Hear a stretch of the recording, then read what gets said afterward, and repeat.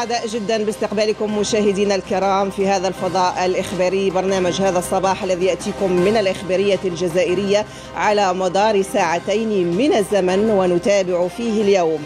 يوبا الثاني الملك الأمازيغي المثقف الموسوعي والذي اختار المقاربة الثقافية في مهادنته الاحتلال الروماني فعرف عصره بالرخاء الثقافي والاقتصادي. سنقف عند إسهاماته الفكرية والثقافية والعمرانية التي لا تزال شاهدة إلى يومنا هذا. الهلال الأحمر الجزائري في ذكرى تأسيسه الرابع والستين مشوار حافل بالنجاحات والتحديات ودور فعال كبير على أرض الميدان حاضر في كل الأزمات ومنها أزمة كورونا الراهنة. في هذا الصباح أيضا رصد للوضعية الوبائية والنسق التنازلي الذي تعرفه نسبة الإصابات اليوم في انتظار اللقاح الموعود.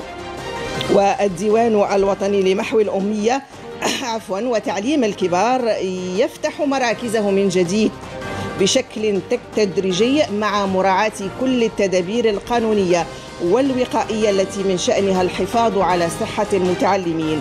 أركاننا الثابتة ترافقكم من حصاد الصحف والصباح الرياضي ونسعد نحن بصحبتكم لنا أيضا في هذا الصباح. صباح سعيد للجميع.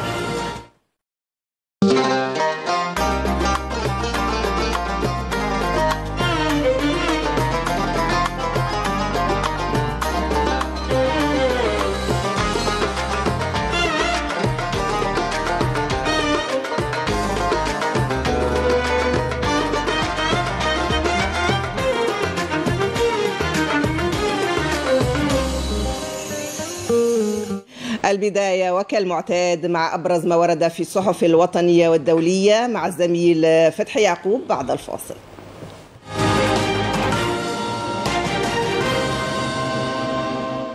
فتحي صباح الخير. صباح الخير عفاف. مشاهدينا أهلا بك يا عفاف. مشاهدينا الكرام أسعد الله أوقاتكم بكل خير. أهلا بكم إلى هذا الموعد الإخباري الحصاد الأسبوعي والبداية باجتماع مجلس الحكومة برئاسة الوزير الأول عبد العزيز جراد والذي خصص لدراسة عدد من الملفات الهامة. صحيفة المساء كانت قد نشرت مقالا حول الموضوع. جاء فيه أن اجتماع مجلس الحكومة درس ثلاثة مشاريع مراسم تنفيذية تتعلق بقطاعي المالية والأشغال العمومية بالإضافة إلى الاستماع لعرضي وزيري وزيري الداخلية والصحة حول مدى تقدم أشغال وزيري فريقي العمل اللذين تم وضعهما للتكفل بالجانب الصحي للقاح المضاد لفيروس كورونا كوفيد 19 شهد الأسبوع الفارط تنظيم منتدى وطني تحت عنوان الوقاية وتسيير المخاطر الكبرى من أجل من أجل تدعيم التعاون المدني العسكري. صحيفة المشوار السياسي قالت أن الفريق سعيد شنقريحة رئيس أركان الجيش الوطني الشعبي وخلال إشرافه على افتتاح أشغال المنتدى قال أن تاريخ الجيش الوطني الشعبي يزخر بمواقف مشرفة في هذا المجال فلم يقتصر دوره على معركتي الدفاع والبناء فحسب بل تعداه إلى المشاركة في المجهود الوطني الرامي إلى الوقاية من الكوارث واحتواء آثارها بعد حدوثها وحماية الأرواح والممتلكات. إحياء مظاهرات الحادي عشر ديسمبر ستون تسعمائة وألف كانت من أهم الأحداث الوطنية أيضا التي ميزت نهاية الأسبوع. صحيفة الشعب وفي تسليطها للضوء على الحدث نشرت مقالا جاء فيه أن حق تقرير المصير في ميثاق الأمم المتحدة شكل الأداة الأساسية التي استخدمتها قيادة جبهة التحرير الوطني والحكومة المؤقتة للجمهورية الجزائرية في نضالها السياسي والدبلوماسي لإنهاء استعمار الجزائر وحصولها على الاستقلال. في الحدث الدولي مشاهدينا الكرام صنف مجلس الأمن والسلم بالاتحاد الإفريقي قضية الصحراء الغربية كقضية رئيسية. صحيفة البلاد قالت أن استعادة مجلس الأمن والسلم بالاتحاد الإفريقي لقضية الصحراء الغربية يشكل انتصارا للمنظمة القارية التي لطالما سعت جاهدة من أجل حل القضايا والأزمات الإفريقية داخل البيت الإفريقي. تطبيع العلاقات مع الكيان الصهيوني من طرف النظام المغربي مقابل الاعتراف بالسيادة المزعومة على الصحراء الغربية خلف استنكارا دوليا واسعا. القدس العربي قالت أن الرئيس الأمريكي المنتهي ولايته دونالد ترامب أعلن أن دولة الاحتلال والمملكة المغربية وافقتا على إقامة علاقات دبلوماسية كاملة بينهما. فيما صحيفة الشرق الأوسط نقلت تأكيد الأمين تأكيد الأمم المتحدة أن موقف أمينها العام تجاه نزاع الصحراء الغربية لم يتغير. وفي السياق نقلت صحيفة جون أفريك عن نيويورك تايمز تأكيد الرئيس الأمريكي المنتخب جو بايدن أنه يمكن التراجع عن قرار الرئيس المنتهي ولايته دونالد ترامب بعدما قرر هذا الأخير الاعتراف بسيادة المغرب على الصحراء الغربية. وللوقوف على الحدث على هذا الحدث مشاهدينا الكرام نسعد باستضافة ومن خلال الهاتف الإعلامي الفلسطيني صالح عوض. صالح عوض صباح الخير. صباح الخير أهلا وسهلا. بداية صالح عوض قرأت لك مقالا قلت فيه أن النظام المغربي يؤدي دور عرابي الاختراق منذ حرب أكتوبر 73 عمليا كيف يؤدي هذا الدور وما هي الشواهد صالح عوض؟ تحية لكم وصباح الخير لكم والسادة المشاهدين والمستمعين. الحقيقة السلوك السياسي للمغرب أو للحكومة المغربية ليس جديدا تجاه العلاقة مع الكيان الصهيوني. فلعله كان السباق في هذا والداعية له والعراف بعد مباشرة بعد حرب أكتوبر بدأت الاتصالات بين الحكومة الصهيونية إسحاق رابين والملك مباشرة وكان ضباط السادة الصهاينة يحملون رسائل وتم اللقاء بعد أكتوبر مباشرة. وبناء على اللقاء بين اسحاق رابين وبين الملك الحسن الثاني تم الاتفاق على إرسال رسالة لمصر للرئيس أنور السادات حول السلام والتسوية. وبناء عليها كان لقاء حسن التهامي نائب رئيس الوزراء المصري ومشي ديان وزير الخارجية الإسرائيلي آنذاك وتم الحديث حول وبدأ التحضير لما سمي فيما بعد مبادره السلام المصرية الإسرائيلية التي تم التباحث فيها في كامب ديفيد في أمريكا باشراف أمريكي. ونحن يعني نتذكر جميعا يعني كيف كان الاختراق الصهيوني لأجهزة الموساد لمؤتمرات القمة العربية صحيح. التي كانت التي حصلت في الرباط. ونعرف أيضا بأن للملك موقف من القضية الفلسطينيه في ال 74 كذلك عندما تم انتزاع قرار آه أن منظمة التحرير الفلسطينيه ممثل شرعي وحيد للشعب الفلسطيني وكيف أصر الملك الحسن الثاني على أن يحرم الفلسطينيين من هذا القرار الجامع لولا موقف الجزائر المتمثل بشخص الرئيس المرحوم هوال بوديان الذي أصر أن يكون الموضوع له فقط علاقة بالقرار الفلسطيني وأن لا يتدخل أحد في ذلك وكان صراعا طويلا في أروقة المجلس المؤتمر القمة العربي الذي انتهى بقرار تمثيل منظمة تحرير الشعب الفلسطيني. تواصلت العملية الحقيقة وما أعلنه ترامب ليس صحيح. إعلان عن شيء جديد. في, في السياق صالح عوض استنكار المجتمع الدولي لقرار ترامب حول سيادة المغرب على الصحراء الغربية ممثلا في الأمم المتحدة التي قال أمينها العام وفق ما نقلت الشرق الأوسط أن موقف الأمم المتحدة من النزاع الصحراوي لم يتغير إضافة إلى ما نقلته نيويورك تايمز عن الرئيس الأمريكي المنتخب جو بايدن الذي قال أنه يمكن مراجعة قرار الرئيس الأمريكي المنتهية ولايته دونالد ترامب كأنه أراد أن يتبرأ من هذا القرار. البعض وصف ردات الفعل هاته وقال أن المغرب بهذا الشكل كأنه باع القضية الفلسطينية من دون أن يحصل على ولا, ولا شيء سال عوض. يعني يعني هذا الحديث حول يعني شقين الشق الأول طبيعة الموقف الأمريكي الذي أعلنه الرئيس المنتهيه صلاحيته ليس منتهيه مدته بل منتهيه صلاحيته ترامب.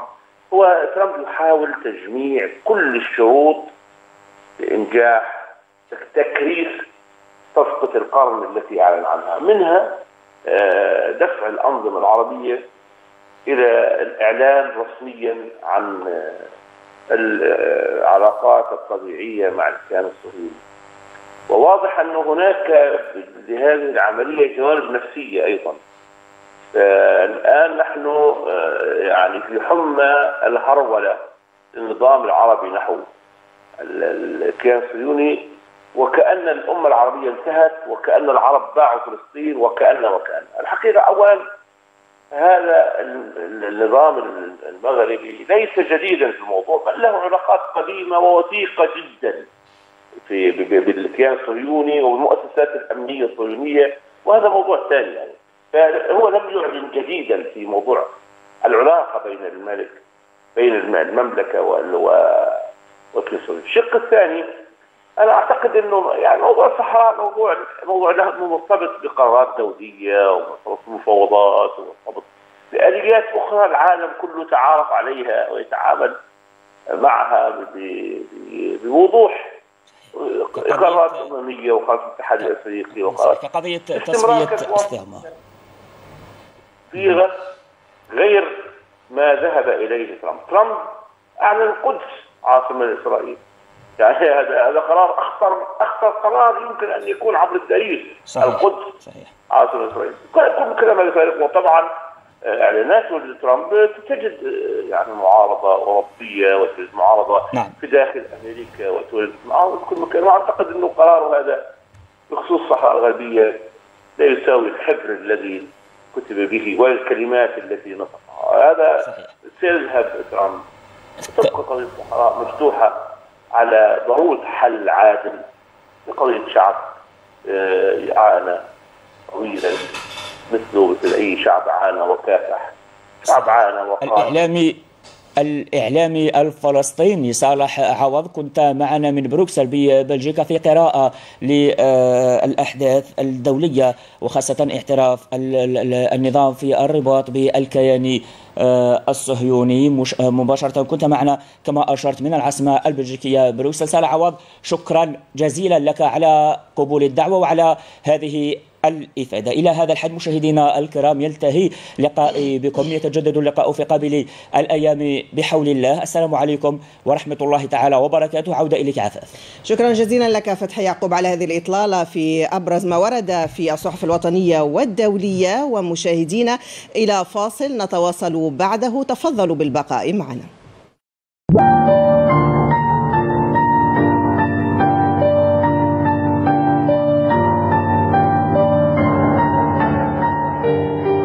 أيها المواطنين هذا المرض خطير جدا في الجزائر.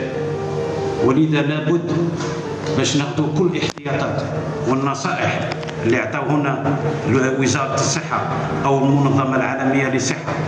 اولا الوقاية لأن بعض الشريحة من المجتمع لا ما زال ما يمنوش بلي هذا الوباء موجود والفيروس موجود. لهذا وجه نصيحة من ذهب ورسالة إلى هذا المواطنين باش يتجنبوا هذا الوباء من طرف التوعية ألا وهي الكمامات الضرورية.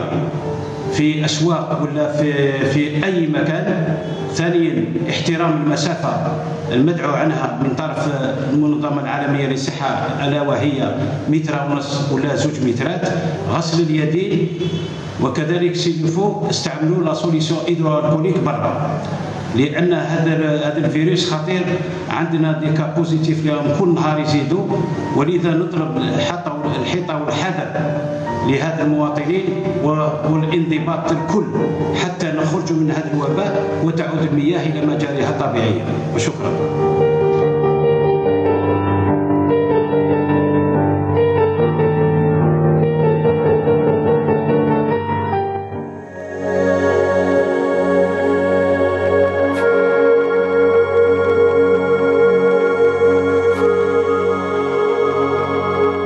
شرشل القيصرية.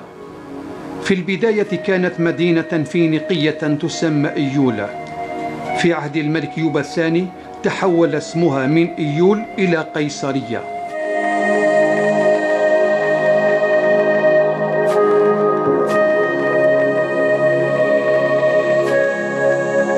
شرشال مدينة يوبا الثاني الذي جعل من عاصمته قيصرية مركزا للفن والثقافة الأمازيغية. إيول أو ما يسمى حاليا شرشال وهي كانت عاصمة ملكية ليوبا. الشيء الذي يميز آه، فترة يوبا الثاني هو ولوعه بالثقافة الرومانية والهيلينية واستقدامه إلى أكبر وأشهر النحاتين ومواد البناء. فمتحف الوطني لشرشال آه، توجد به بعض البقايا المنشآت والإنجازات من من منحوتات وتماثيل التي تعبر عن الحياة اليومية المتأثرة بالثقافة الهيلينية أي اليونانية. ومدى قوة مدى ازدهار دولته وثرائها وولوعه بالعمران.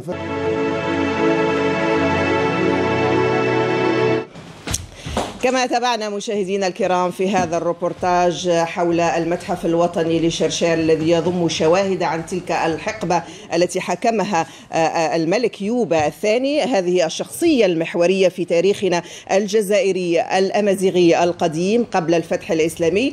وهي شخصية عرفت بحكمها لمنطقة موريتانيا القيصرية وعاصمتها إيول القيصرية شرشال اليوم لمدة خمسين عاما في ظل الحماية الرومانية. عرفت أيامه بالاستقرار والرخاء وبإسهاماته المتميزة في الثقافة والفكر.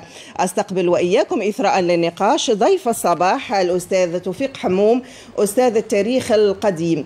أستاذ حموم صباح الخير. شكرا لك على تلبية الدعوة. شكرا سيدتي الكريمة. شكرا على الاستضافة. فقط لتصحيح أستاذ التاريخ والأثار في جامعة الجزائر اثنين.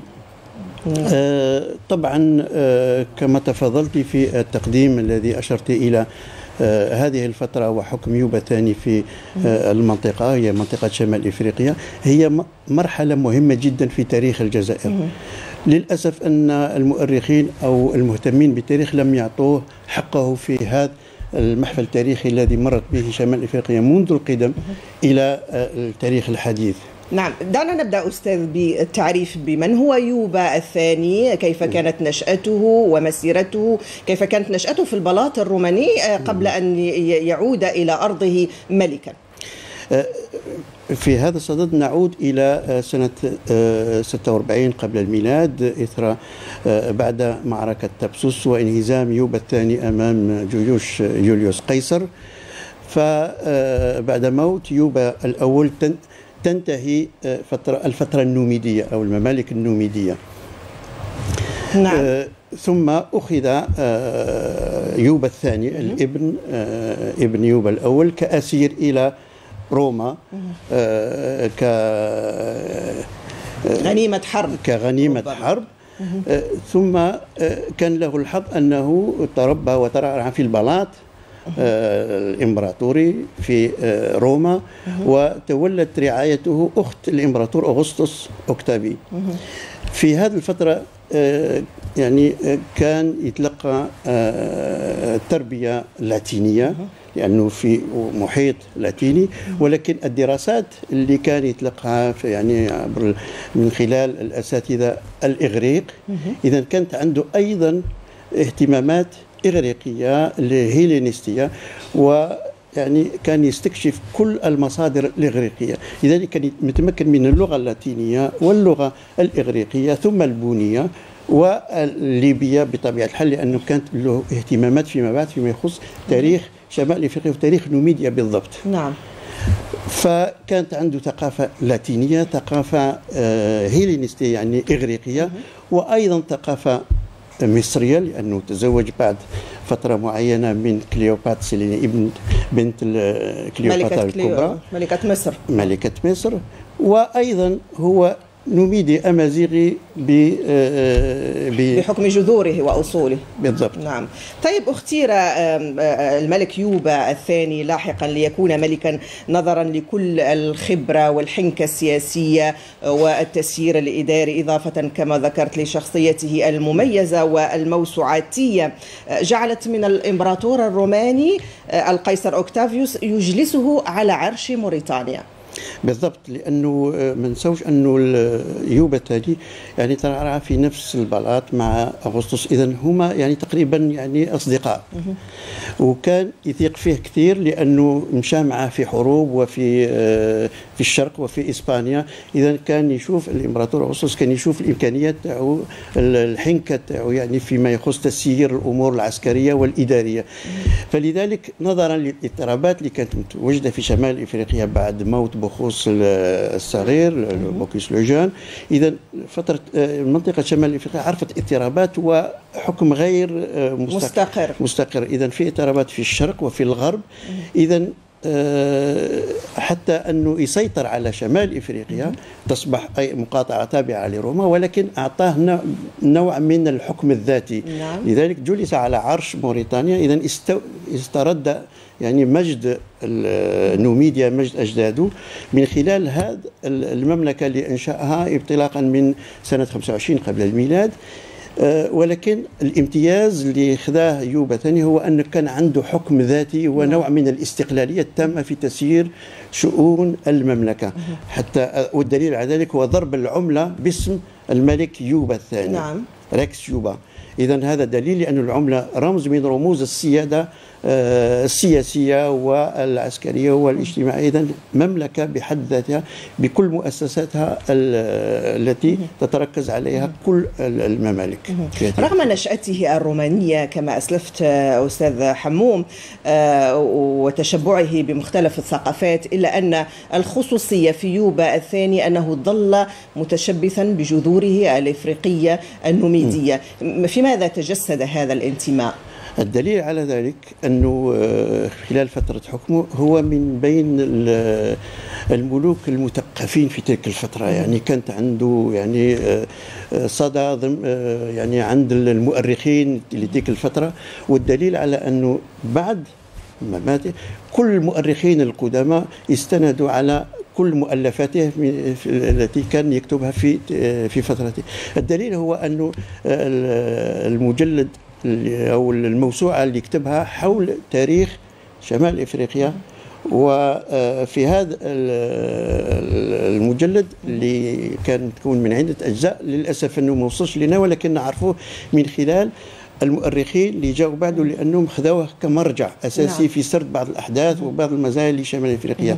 إذا كان مت- متمكن من العلوم من الجغرافيا من علم النباتات والتاريخ يعني كان متشبع بكل هذه العلوم وأيضا الفنون. هذا أيضا جانب مهم بالنسبة ليوبا الثاني الفنون كان أعطاها حصة من الاهتمام يعني جانب آه، مهم في حياته اليومية. والدليل هو مدينة قيصرية اللي نعرفوها هي صورة طبق الأصل نعم. لروما. ولا تزال الشواهد حاضرة. دعنا نثري أيضا النقاش بحضور الدكتور محمد البشير شنيتي أستاذ وباحث في التاريخ القديم المتواجد معنا عبر الهاتف. دكتور شنيتي صباح الخير. صباح النور سيدتي شكرا لك على قبولك دعوة المشاركة. معنا آه، دكتور شنيتي آه، يوبا الثاني يعتبر من أكبر ال- المثقفين في العصر النوميدي. اختار المقاربة الثقافية خلال مهادنته الاحتلال ال- الروماني واختار بناء الإنسان الأمازيغي من خلال آه، التركيز على مختلف الفنون والعلوم و التي تس يعني تسعى إلى تحقيق التنمية الحقيقية من خلال بناء الإنسان الأمازيغي. تحياتي للأستاذ توفيق وأتمنى انني ألقاه على المباشر لكن مع الأسف القناه الثالثه ما عنديش في التلفاز ما سمعته أخيرا مؤخرا يعني في اللحظات الأخيرة هذه من الأستاذ توفيق آه كلام وافي وشافي وعلمي وموثق آه ويمكن أن يعتمد حتى في كل في كل المراجع التي تتناول هذا الموضوع. يوبا طبعا سبقني الأستاذ توفيق لا أدري ماذا قال في في شأنه ولكن بخصوص السؤال الذي الذي طرح علي من طرفك أنت أنه هو فعلا يوصف بأنه ملك عالم. يقال بأنه الملك العالم وهو في الحقيقة وصفه بهذه الصفة ليس غريبا لأنه هو حفيد ملك نوميدي آخر وهو يمثال يمثال الثاني يقال أنه تسمية يمثال تكررت كثيرا في الأسرة النوميدية المالكة. فيمثال الثاني هذا هو هو جده هو أب يوبا الأول هو جده وهو وهو, وهو الذي كان ألو ألو؟ ألو؟ نعم نسمعك أستاذ شنيتي. ألو. نعم يمثل الثاني هذا يوصف بأنه أيضا من أكبر المثقفين والمؤلفين أيضا لأن يوبا يوبا الثاني هذا حفيده نقل على نقل على كتبه نقل منه والمعلومات المتعلقة بالجغرافيا والمتعلقة بالسكان هذا يمثال الثاني اللي هو جد يوبا الثاني. هذا كانت لديه مكتبة كبيرة مكتبة مكتبة من مخلفات المؤلفات والكتب التي عفت عليها النيران التي التهمت قرطاجة والتهمت تراثها. نعم. فأخذ يعني أنقذوا بعض الكتب من مكتبة قرطاجة وأخذتها أخذها أخذها البيت المالك النوبي اللي هو ذاك الوقت كان كان الإخوة الثلاثة مسيبسا وأذربال مسيبسا ومستنقال وجلوسا أخذوا المكتبة وبقت في البيت بقت في البيت المالك المكتبة استفاد منها يمثل الثاني فيما بعد استفادة كبيرة وساليس وهو مؤرخ وأيضا حاكم نوميديا نعم. فيما بعد رجع إلى تلك الكتب ووصفها كثيرا وامتدح صاحبها نعم. فإذا يوبا الثاني يعني ليس غريبا أن يكون مثقفا ولأن كثير من الناس يعتقدون بأن النوميديين القدامى لم يكونوا مثقفين أو لم تكن فيما أو لم تكن بينهم أجواء يعني لم يعيشوا أجواء ثقافية كغيرهم من ملوك عصرهم.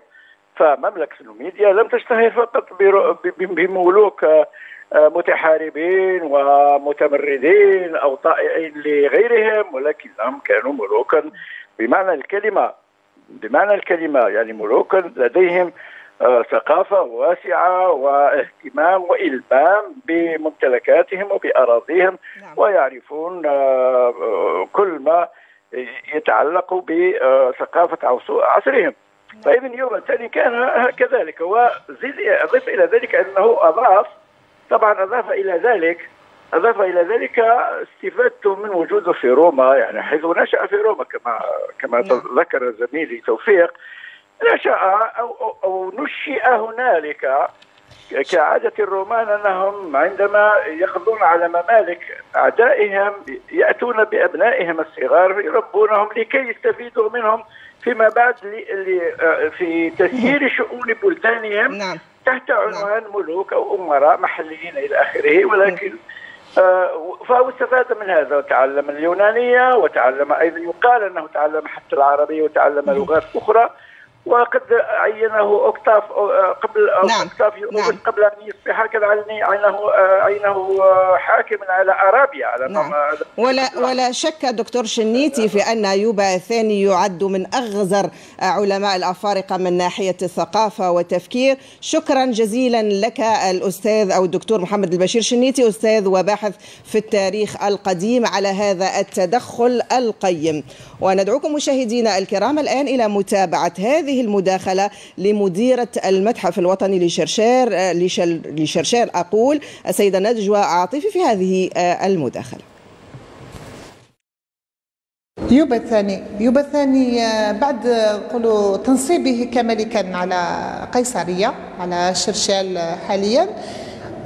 هو إنسان تشبع بال نقولوا بالثقافه الرومانيه هي أكثر اللاتينيه كي تربى تما على أيدي فلاسفة على أيدي علماء. من هو؟ أصبح هو إنسان مثقف. حسب المؤرخين إنسان مثقف كبير مثقف إنسان نيرودي كتب كتب على وكان مختص في عدة ميادين منها حتى النباتات الحيوان الفنون العمارة. ومنها يبان هذا اللي قاعد شو يقولوا هذه الثقافة تبان فيه في مدينة شرشال.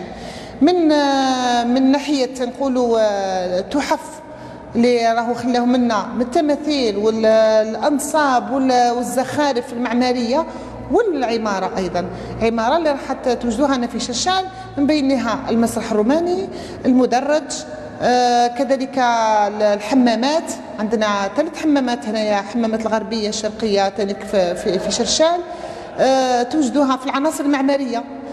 آه تسمى نفهموا من هذايا باللي كان تشبع كثير من من الفنون والثقافة. تعقيبا على هذه الشهادة أعود للنقاش مع الأستاذ توفيق حموم أستاذ التاريخ القديم والأثار في جامعة الجزائر. أستاذ حموم دعنا نتحدث عن قيام يوبا الثاني بتوحيد القبائل الأمازيغية وسعيه إلى تمدين المملكة حضاريا وثقافيا وعلميا وتزيينها أيضا عمرانيا وهو ما ما يزال يعني هناك بعض الشواهد التي لا تزال حاضرة. وشاهدة إلى عصرنا هذا عن تلك الاهتمامات. نخص بالذكر قبر أو الضريح الملكي الموجود بتيبازا وما يعرف بقبر الرومية. تسمحي لي سيدتي الكريمة قبل أن أجيب على هذا السؤال أن أوجه تحياتي لأستاذنا محمد البشير شنيتي. هو أستاذنا الكل هو عميد الأساتذة والباحثين في جامعة الجزائر. فنتمنى له الشفاء إن شاء الله وطيلة العمر والصحة والعافية إن شاء الله. فله تحياتنا. رجوعا إلى سؤالك سيدتي الكريمة أنه صحيح أنه من الميزات الخاصة بفترة حكم يوبا الثاني أنه أسس مدينة عمرانية بكل المقاسات والمعايير الهيلينستيه هي في الحقيقة تقريبا صورة طبق الأصل لمدينة روما العاصمة اللي هي عاصمة الإمبراطورية الرومانية. فشيد في مدينة شرشال عدة مباني هامة جدا. تتميز ببعض الخصوص أنها فريدة من نوعها في كل العالم الروماني. مثلا نأخذ المسرح. المسرح اللي عنده شكل مميز فريد من نوعه في نعم. كل العالم الروماني. وللأسف أنه ما نتكلموش كثير على هذه الأمور. فيه مدرج فيه عدة مباني كانت فيه عناصر معمارية وفنية جد قيمة. يعني هي أصولها تعود للفترة الإغريقية. يعني مباني ضخمة ومباني كانت تزين حتى وين وصلنا أن نقول مدينة شرشال كانت متحف على الهواء طلق. نعم. نعود إلى ضريح الملكي الموريتاني. صحيح أنه عندما يعني أقيمت الاستكشافات في هذا الضريح داخل غرفة الجنائز لم نجد شيء في الفترة الفرنسية عندما دخلوا. يعني الأثاث الجنائزي تقريبا غائب. إلا بعض الأثاث الجنائز خاصة في حلي اللي عنده ميزات وفنيات مصرية. لذلك ينسبوا الضريح إلى كليوباتر سيليني. ولكن في الحقيقة ما عندناش شاهد أو مادي أو يعني بحث علمي ليؤكد أنه يعود للفترة فترة يوبا الثاني. عندما ندرس الغطاء أو المظاهر المعمارية والفنية للضريح. هذه الميزة الفنية تعود لبدايه القرن الأول قبل الميلاد. اذا إذا كان خذينا بهذه المقاسات أو بهذه المعايير ما فيش علاقة. ولكن هو ضريح للعائلة الملكية. في نعم. العادة أنه كانت أيضا تعدد الدفن في ضريح معين لأنه هو أصله أمازيغي. نعم. ضريح موريتاني. هو أصله أمازيغي يستوحى شكله من البازينة القديمة اللي هي تعرف في فجر التاريخ كمقابر للمجتمع الأمازيغي. ولكن يقال أنه يعود لفترة يوبا الثاني وقصة حب يعني كهدية للملكة المصرية. نعم. ولكن علميا وماديا صعب التأكيد في هذا المجال. فقط بعض الاثاث الجنائزي اللي يفكرنا يعني بمظاهر فنية للفترة المصرية. عمد الملك يوبا الثاني إلى تربية شعبه وانعكس ذلك في مظاهر الحياة اليومية آنذاك. حدثنا عن ذلك. في الحقيقة هذه هي ميزة أو المهمة الأساسية ليوبا الثاني لأنه كانت في شمال في اضطرابات عديدة إذا هو كانت عنده الحنكة السياسية والحنكة أيضا الاستراتيجية في تسيير أمور الدولة. إذا كانت عنده علاقة مباشرة بشيوخ القبائل. نعم. البفارس والجيتول ويعني كل هذه القبائل كانت عنده علاقة ودية وشخصية مباشرة. لذلك تمكن في فترة وجيزة إخماد كل هذه الثورات وكل وتوحيد كل القبائل. وتوحيد كل القبائل تحت يعني حكم يوبا الثاني. ولكن فيه بعض الامتيازات أيضا من طرف روما لإخماد هذه مثلا الإعفاء من الجباية. نعم. وهذه ميزة خاصة فقط بمملكة يوبا الثاني. المزارعين الفلاحين كل التجار معفيين من الضرائب التي كانت تفرض على المجتمعات التي استعمرت من قبل روما. فقط مملكة نوميد مملكة يوبا الثاني أعفيت من هذه الجهة هذا مثال فقط. نعم. يعني كانت في امتيازات بالمقابل هو يعني توحيد كل قبائل المجتمع. ربما كانت خطة استراتيجية هذه المهادنة بطبيعة يعني. الحال يعني ما فيهش شيء ما فيهش خفايا يعني ولكن هي استراتيجية أعطت ثمارها. حتى أن المجتمع في فترة يوبا عرف بحبه للفنون وحبه للعيش يعني والأناقة في اللباس وكل هذه مظاهر الحياة اللي هي تعتبر رقي المجتمعات.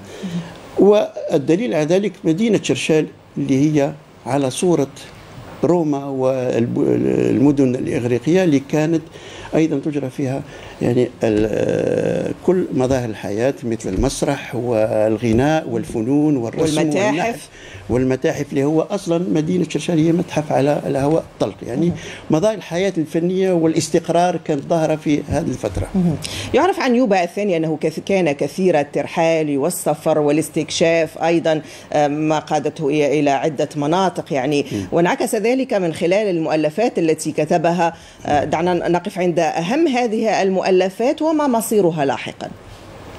هذه أيضا من ميزة يوبا الثاني انه ملك استراتيجي عسكري ولكن عنده جانب آخر هو اهتماماته الفنية والبحث أيضا في مجال علوم النباتات والطب والجغرافيا في كل مجالات. حتى الشعر كان يؤلف كان الشعر أيضا. في عدة كتب وعدة مجلدات نعرفها من خلال المصادر القديمة ولكن للأسف لأنه في هذه الفترة الطباعة غير موجودة. إذا استنساخ باليد. فأعداد هذه النسخ نادرة. ولكن وصلت حتى القرن الرابع بعد الميلاد. لأن المؤرخين في تلك الفترة أيضا استندوا على هذه الكتب وهذه المؤلفات ليوبا الثاني. إذا في هذه الفترة يعني هذه الاستكشافات اللي كان حتى أيضا قام ببعثات خارج شمال إفريقيا حتى الجزر نعم. الكناري وأيضا جبال الأطلس وأيضا مشهور بالاستكشافات اللي قام بها حول مصدر نهر النيل. نعم. اللي هو يقول أنه من إثيوبيا ولكن في الحقيقة إثيوبيا في تلك الفترة هي الصحراء الجزائرية وجبال الأطلس. نعم. أيضا فيه شيء مهم اللي هو الطبيب الشخصي ليوبا ثاني فورب قام باستكشاف في جبال الأطلس واكتشف نبتة أيوب الثاني أعطاها اسم لهذه النبتة باسم هذا ال- الطبيب الشخصي اللي هي ال- ال- اليرقوب بالعربية. نعم. آه، وهذه النبتة آه، مهمة جدا في آه، علاج ال- ال- العيون البصر وأيضا في بعض الأعراض أيضا الجلدية. إذا هذه النبتة يوبا ثاني هو اللي سماها واللي أعطاها الاسم. وهذه المؤلفات الكثيرة جدا والمهم منها هي ليبيكا المعروفة. ليبيكا اللي تكون من عدة أجزاء. كان يسرد فيها كل هذه آه، الأحداث التاريخية اللي مرت منها آه، مملكة نوميديا. نعم. وأيضا في أجزاء مخصصة للجغرافيا والعلوم النباتات والجيولوجيا. اذا كانت عنده النصوص التاريخيه تذكر أنه عنده مؤلفات كثيرة في كل المجالات. اذا هو موسوعة. بأي لغة كان يكتب وقتها؟ في ال- آه، في في الغالبية كانت بالإغريقية نعم. واللاتينية. ويعرف أنه فيما بعد عندما تمكن باللغة الأمازيغية أيضا فيه كتابات وفي أشعار أيضا نعم. باللغة الأمازيغية. وأيضا كان متمكن باللغة البونية. اذا هو موسوعة آه، ملك عالم باحث موسوعة علمية في كل المجالات وفنان. والمعروف أنه آه، شرشال يعني آه، حاليا الاستكشافات اللي أقيمت في مدينة شرشال هي حوالي 15 20% فقط من اكتشاف المدينة اللي تعود لفترة يوبتين رغم ذلك هذا ال 15% أعطتنا رصيد تاريخي واثري مهم جدا مقارنة بالمدن الأخرى. الدليل كل المحتويات والمقتنيات الموجوده في متحف الاثار القديمة نعم. بالجزائر العاصمة وشرشال هي آه، كنوز في مجال الفنون والنحت. لأنه فقط هذه المجموعة اللي اكتشفت في مدينه شرشال نوجد أنها آه، تسرد كل تاريخ الفنون منذ القرن الس- السابع والسادس قبل الميلاد من بلاد الإغريق حتى القرن آه، يعني فترة يوبا الثاني. ما مصير هذه المؤلفات يعني التي وصلت إلينا تصل إلينا مجرد شذرات من بعض المؤرخين؟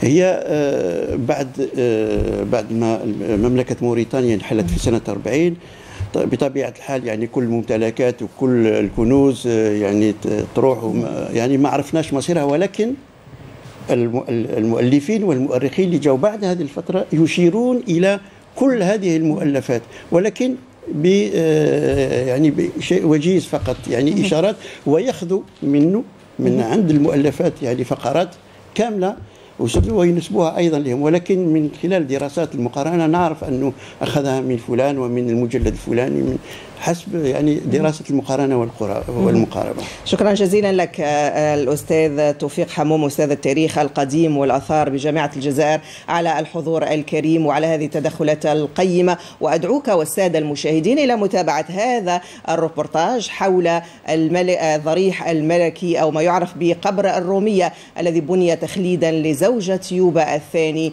كليوباترا سيليني.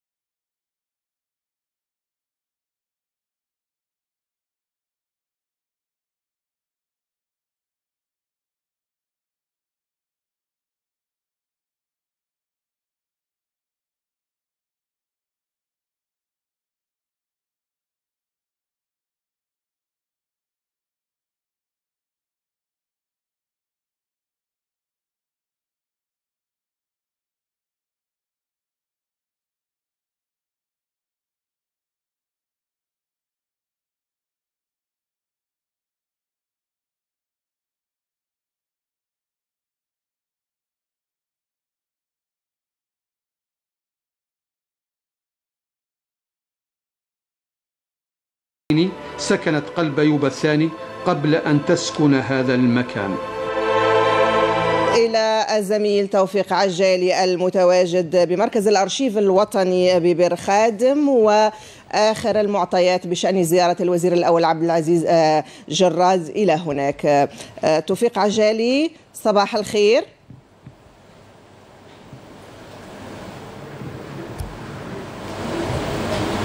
توفيق. هل أنت معنا؟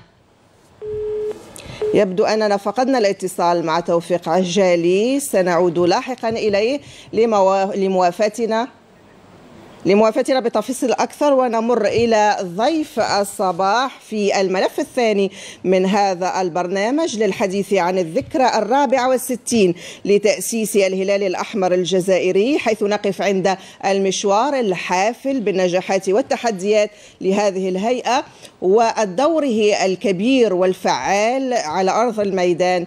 أستقبل ضيف الصباح بعد الفاصل.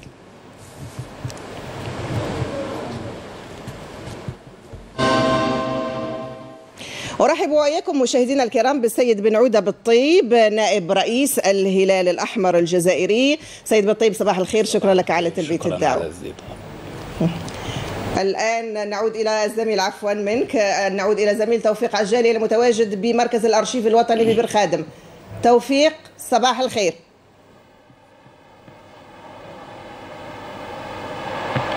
توفيق صباح الخير. ضعنا في صورة آه، آه، آخر المعطيات بشأن زيارة الوزير الأول عبد العزيز جرار آه، جراد عفوا إلى مركز الأرشيف الوطني.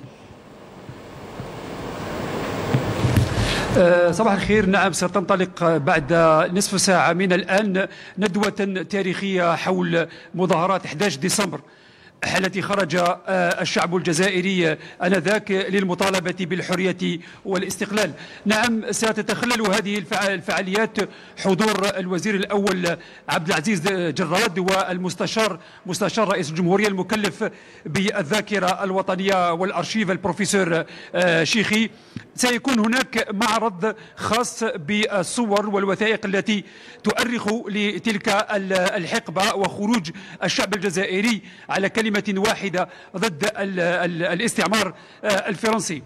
آه، كما ستكون هذه تتخلل هذه الندوة مداخلات آه، مداخلات لمختصين في التاريخ الجزائري آنذاك.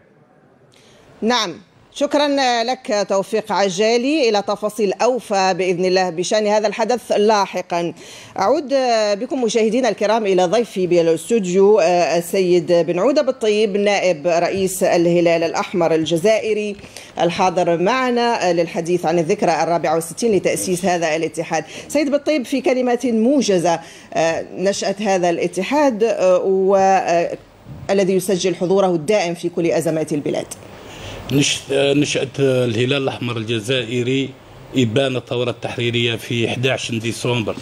وهذا التاريخ يعني محظوظ بالنسبة للثورة الجزائرية.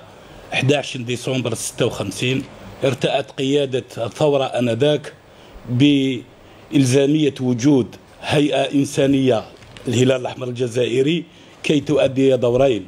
الدور الأول وهو داخلي والدور الثاني وهو خارجي. الدور الداخلي يتمثل في مرافقة الثوار والمجاهدين وتطبيبهم إضافة إلى التوعية الصحية للمواطنين نعم. الذين كانوا يعانون الويلات إضافة إلى دور الخارجي وهو آه، إسماع صوت الشعب الجزائري أو أنين الشعب الجزائري للعالم الحر الخارجي وهذا ضمن وفود أجنبية صديقة وشقيقة. إسهامات الهلال الأحمر الجزائري الذي كان سباقا منذ بداية جائحة آه، كورونا آه، ومساعيه في كيف كان التعامل آه، يعني في البداية مع هذا الوباء القاتل؟ في قضية كورونا في البداية يعني كان هناك تكوين من قبل يعني أصدقاء أجانب في هذا الباب. وبالتالي حاولنا أن ننشئ لجنة وطنية تشرف أو خلية أزمة وطنية تشرف على هذا الملف إضافة إلى تفرعها في جميع الولايات. وهذا أولا لإعطاء التربية يعني الصحية في هذا الباب.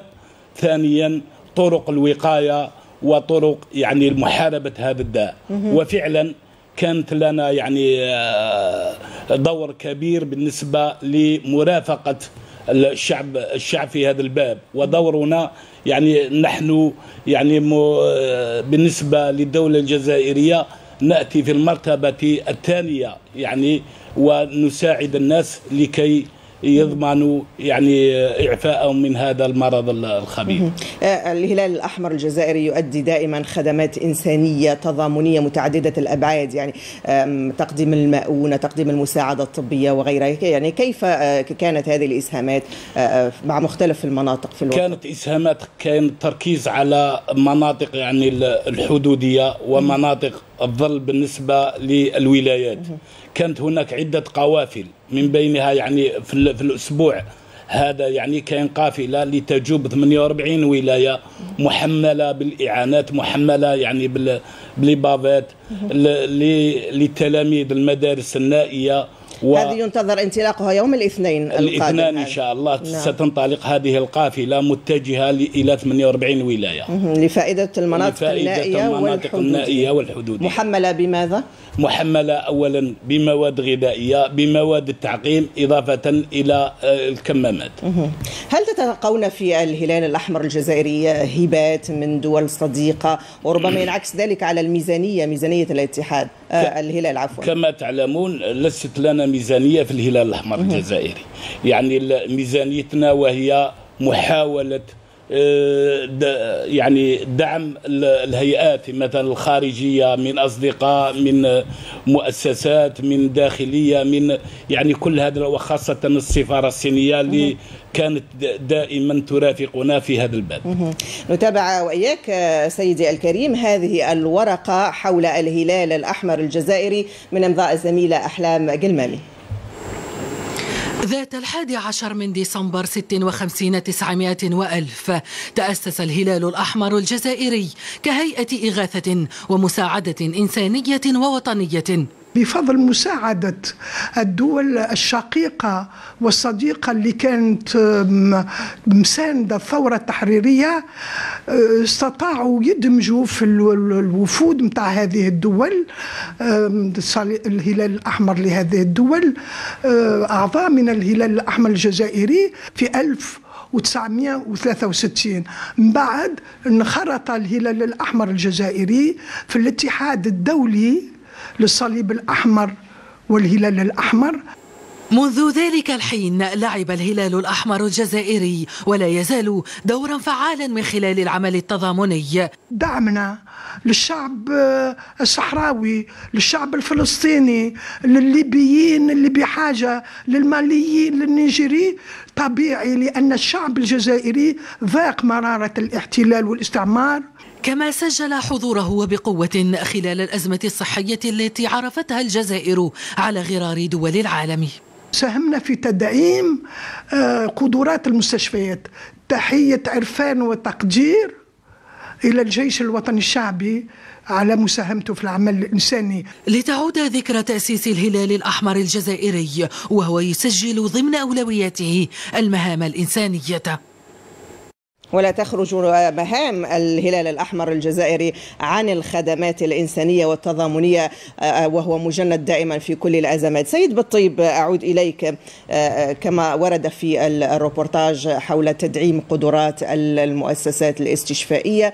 ماذا أيضا عن المساعدة النفسية التي آه، كان لكم يعني يعني إنجازات فيها وخدمات قدمت لمختلف المتضررين؟ في هذا الباب أنشئت يعني خلية أزمة أو خلية استماع للمتضررين من مرض الكوفيد هذايا. وكان يعني آه، تعتبر يعني من الطاقم نتاعها يعني أطباء نفسانيين اللي يحاولوا به يجاوبوا على كل التساؤلات المطروحة في هذا الباب. وهل وضع رقم أخضر؟ وهناك رقم أخضر يعني 30 30 هذاك اللي يمكن أي إنسان يتصل به ويجاوبوه في الحين. بالنسبة للتكوين الذي يعني يعني وفرتموه لأطقمكم خلال الجائحة والتكوين التكوين العالي المستوى الذي توفره هذه الهيئة باعتبارها منخرطة في الاتحاد الدولي للهلال الأحمر والصليب الأحمر. بالنسبة للتوكين التكوين. للتكوين هناك عدة برامج مختلفة يعني على حسب المواضيع. يعني البرنامج الساري المفعول هي يعني الصحة المجتمعية. الصحة المجتمعية الآن يعني هناك تكوين لماذا؟ الصحة المجتمعية لمواجهة آه، داء آه، الكوفيد هذه الصحة هذه هذه التكوينات آه، في كل ولايات 48 يشرف عليها يعني أطباء ومختصين في هذا الباب. هكا حتى يب... لماذا؟ للمتطوعين والذين يباشرون عملهم يعني مع المواطنين.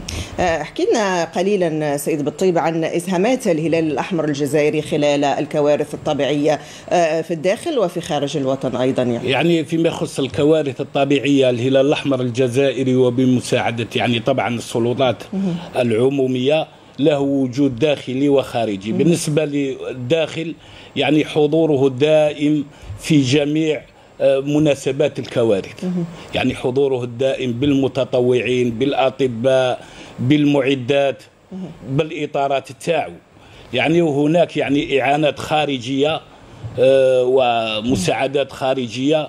هذه خاصة مثلا بدول الجوار بمواطنينا اللي يسكنوا يعني بجانب الحدود. نعم. وفي هذا الباب نشكر يعني الجيش الوطني الشعبي اللي كان دائما يرافق الهلال الأحمر الجزائري في جميع العملية التضامنية سواء في الداخل أو في أو الخارج في الخارج. لنقل المساعدات. لنقل المساعدات. الهلال الأحمر أيضا يؤدي مهمات إنسانية لفائدة البدو والرحل. كيف كانت التوعية وسبل الوقاية بالنظر إلى خصوصية هذا المجتمع المتنقل يعني نعم. الذي لا يستقر في مكان واحد. فيما يخص البدو والرحل عندنا برنامج خاص. يعني وكان هناك برنامج الآبار. اللي جاي في الجنوب الكبير وبمساعدة يعني سفارة الصين الشعبية والصليب الأحمر الصيني اللي حاولنا باش نثبت الطاقة الشمسية في هذا الآبار لمساعدة آه، ساكنة الجنوب باش على الأقل يثبت في المكان ويقعد تمايا. يعني هذه كله يعني في إطار برنامج مسطر موحد لساكنة الجنوب ومواطني الحدود. كيف يسعى الهلال الأحمر الجزائري اليوم إلى نشر آه، ثقافة التضامن آه، آه، يعني في كل بين كل فئات المجتمع خصوصا فئة الشباب؟ يعني ثقافة التضامن شيء أصيل في, في المجتمع, في, في المجتمع. يعني كان عندنا قصة الأمير عبد القادر بالنسبة للمسيحيين السوريين. وين قال هذا ما فعلته كان يعني حتما بمقتضى عقيدتي المحمدية. وهذا يعني سلوك أصيل والتضامن ليس غريب على الشعب الجزائري. وهناك يعني بما يعني كاين تقريبا أكثر من 200 ألف مطوع بالنسبة للهلال الأحمر الجزائري. يعني شيء يعني جميل. لكن يجب عليهم التكوين يجب على على على القيادة أن تعطي يعني خارطه طريق لسير هؤلاء المتطوعين. وأيضا التنسيق مع المجتمع المدني والتنسيق مع المجتمع المدني لأنه جزء من المحيط. جزء نمر إلى نقطة أخرى سيد بالطيب آه، بالنسبة للوضع في الصحراء الغربية هذه المنطقة التي تعاني دائما آه، وضعا انسانيا آه، متفاقما كيف تنسقون؟ ويعني جهودكم لاحتواء للمساعدة على احتواء المنطق. و وربما هذه هي الكلمة الختامية آه، لك سيد بالطيب. كيف تنسقون مع هذه الهيئات؟ ولفائدة آه، يعني ما هي الإنجازاتكم في هذا المجال؟ يعني كاين آه، تنسيق يعني على مستوى الهلال الأحمر إلى الجزائري مع الهلال الأحمر الصحراوي.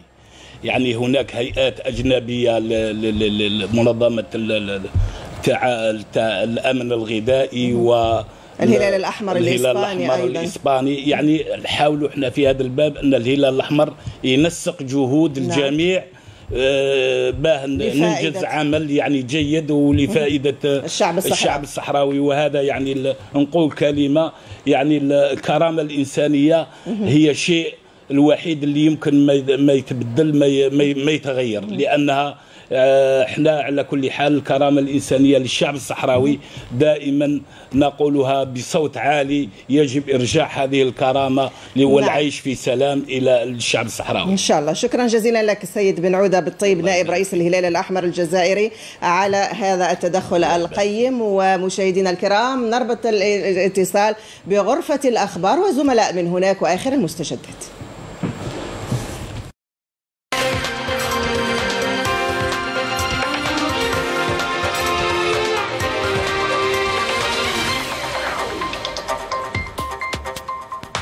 موجز لأهم الأنباء من الإخبارية الجزائرية. أهلا بكم.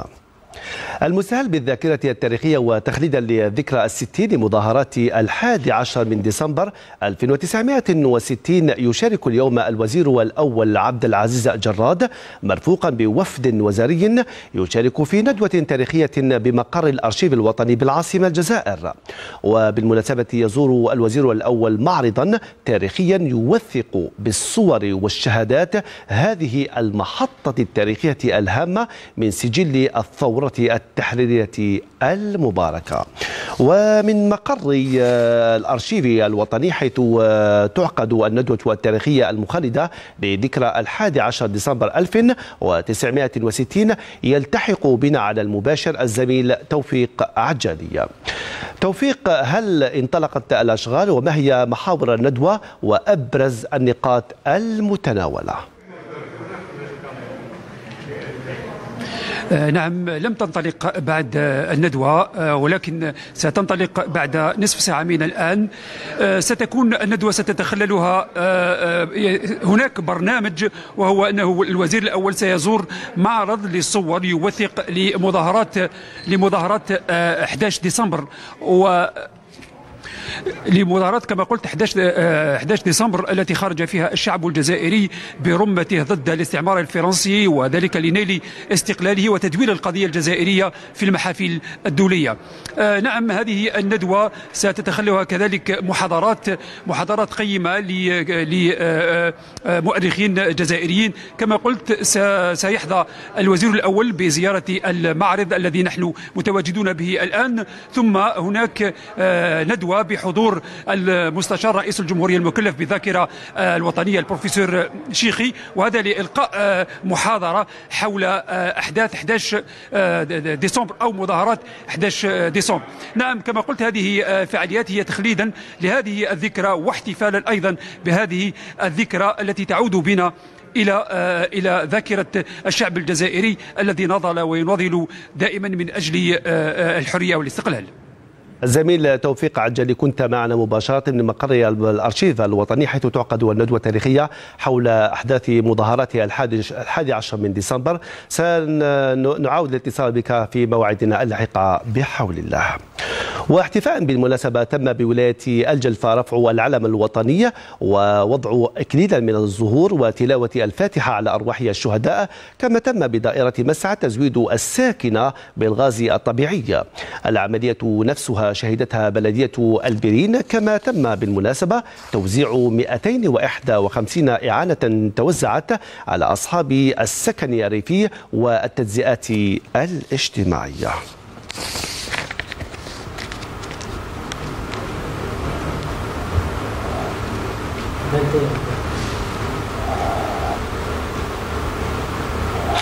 ينظم اليوم بالمعهد الوطني للدراسات الاستراتيجية الشاملة ينظم يوما دراسيا حول التطورات الأخيرة في منطقة الصحراء الغربية الدوافع والتداعيات.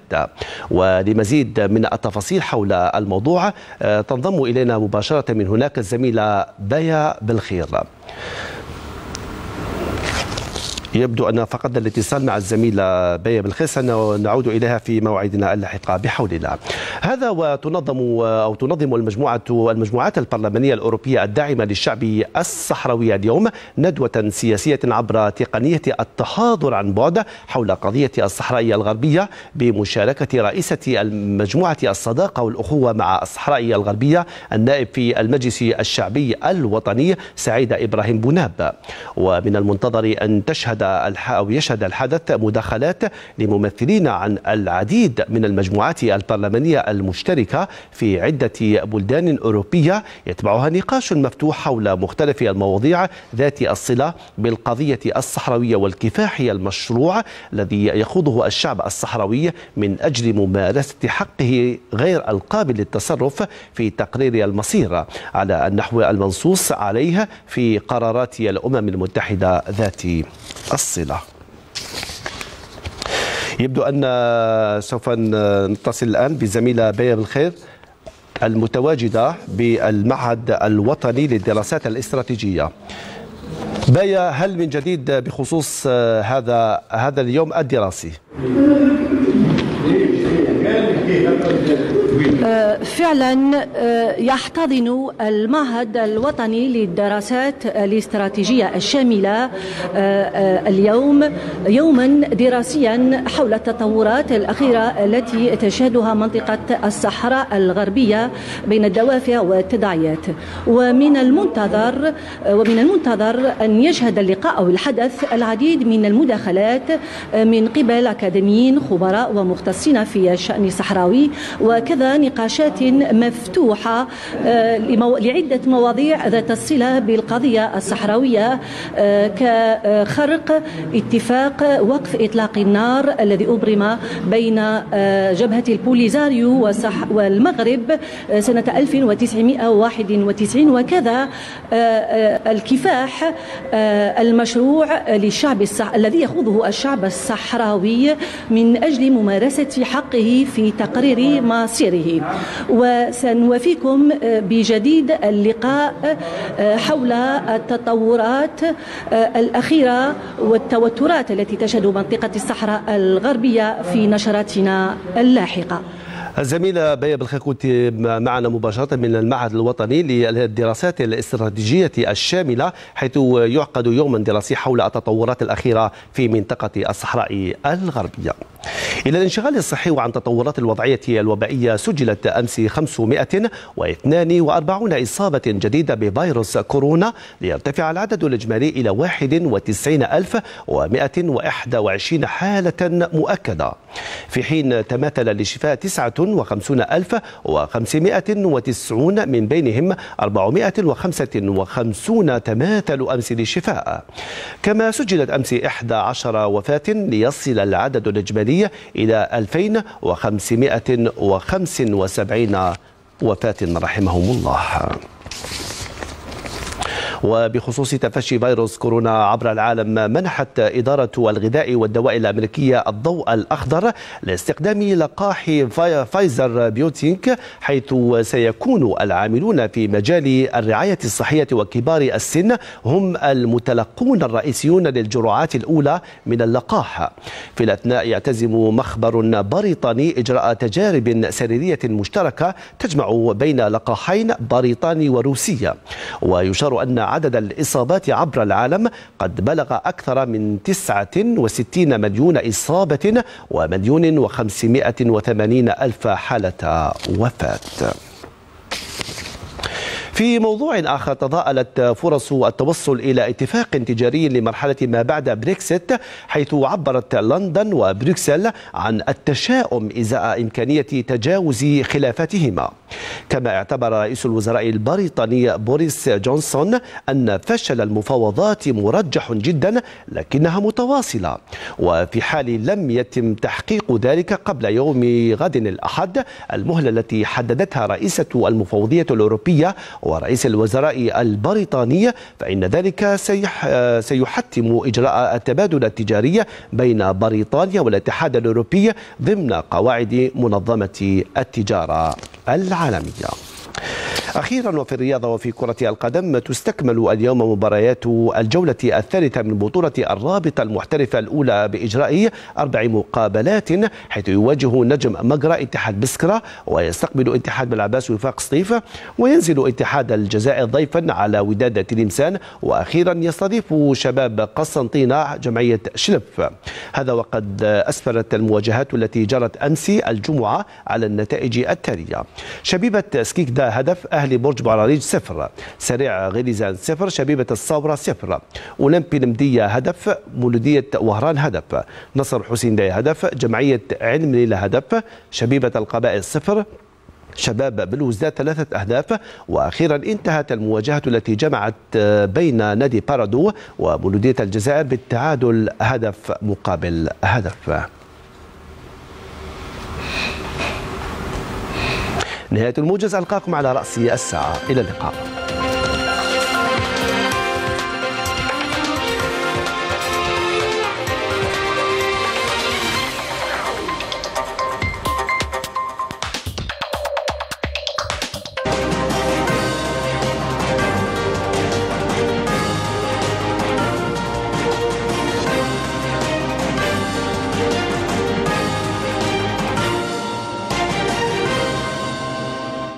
سعداء جدا مشاهدينا الكرام باستقبالكم في الساعة الثانية من برنامج هذا الصباح وكنا في الشق الأول قد تناولنا شخصية الملك الأمازيغي يوبا الثاني الذي عرف بإسهاماته الفكرية والثقافية وأيضا العمرانية التي عرفتها ولا تزال شاهدة عليها الآن مدينة شرشال التي كانت عاصمة لمملكته آنذاك.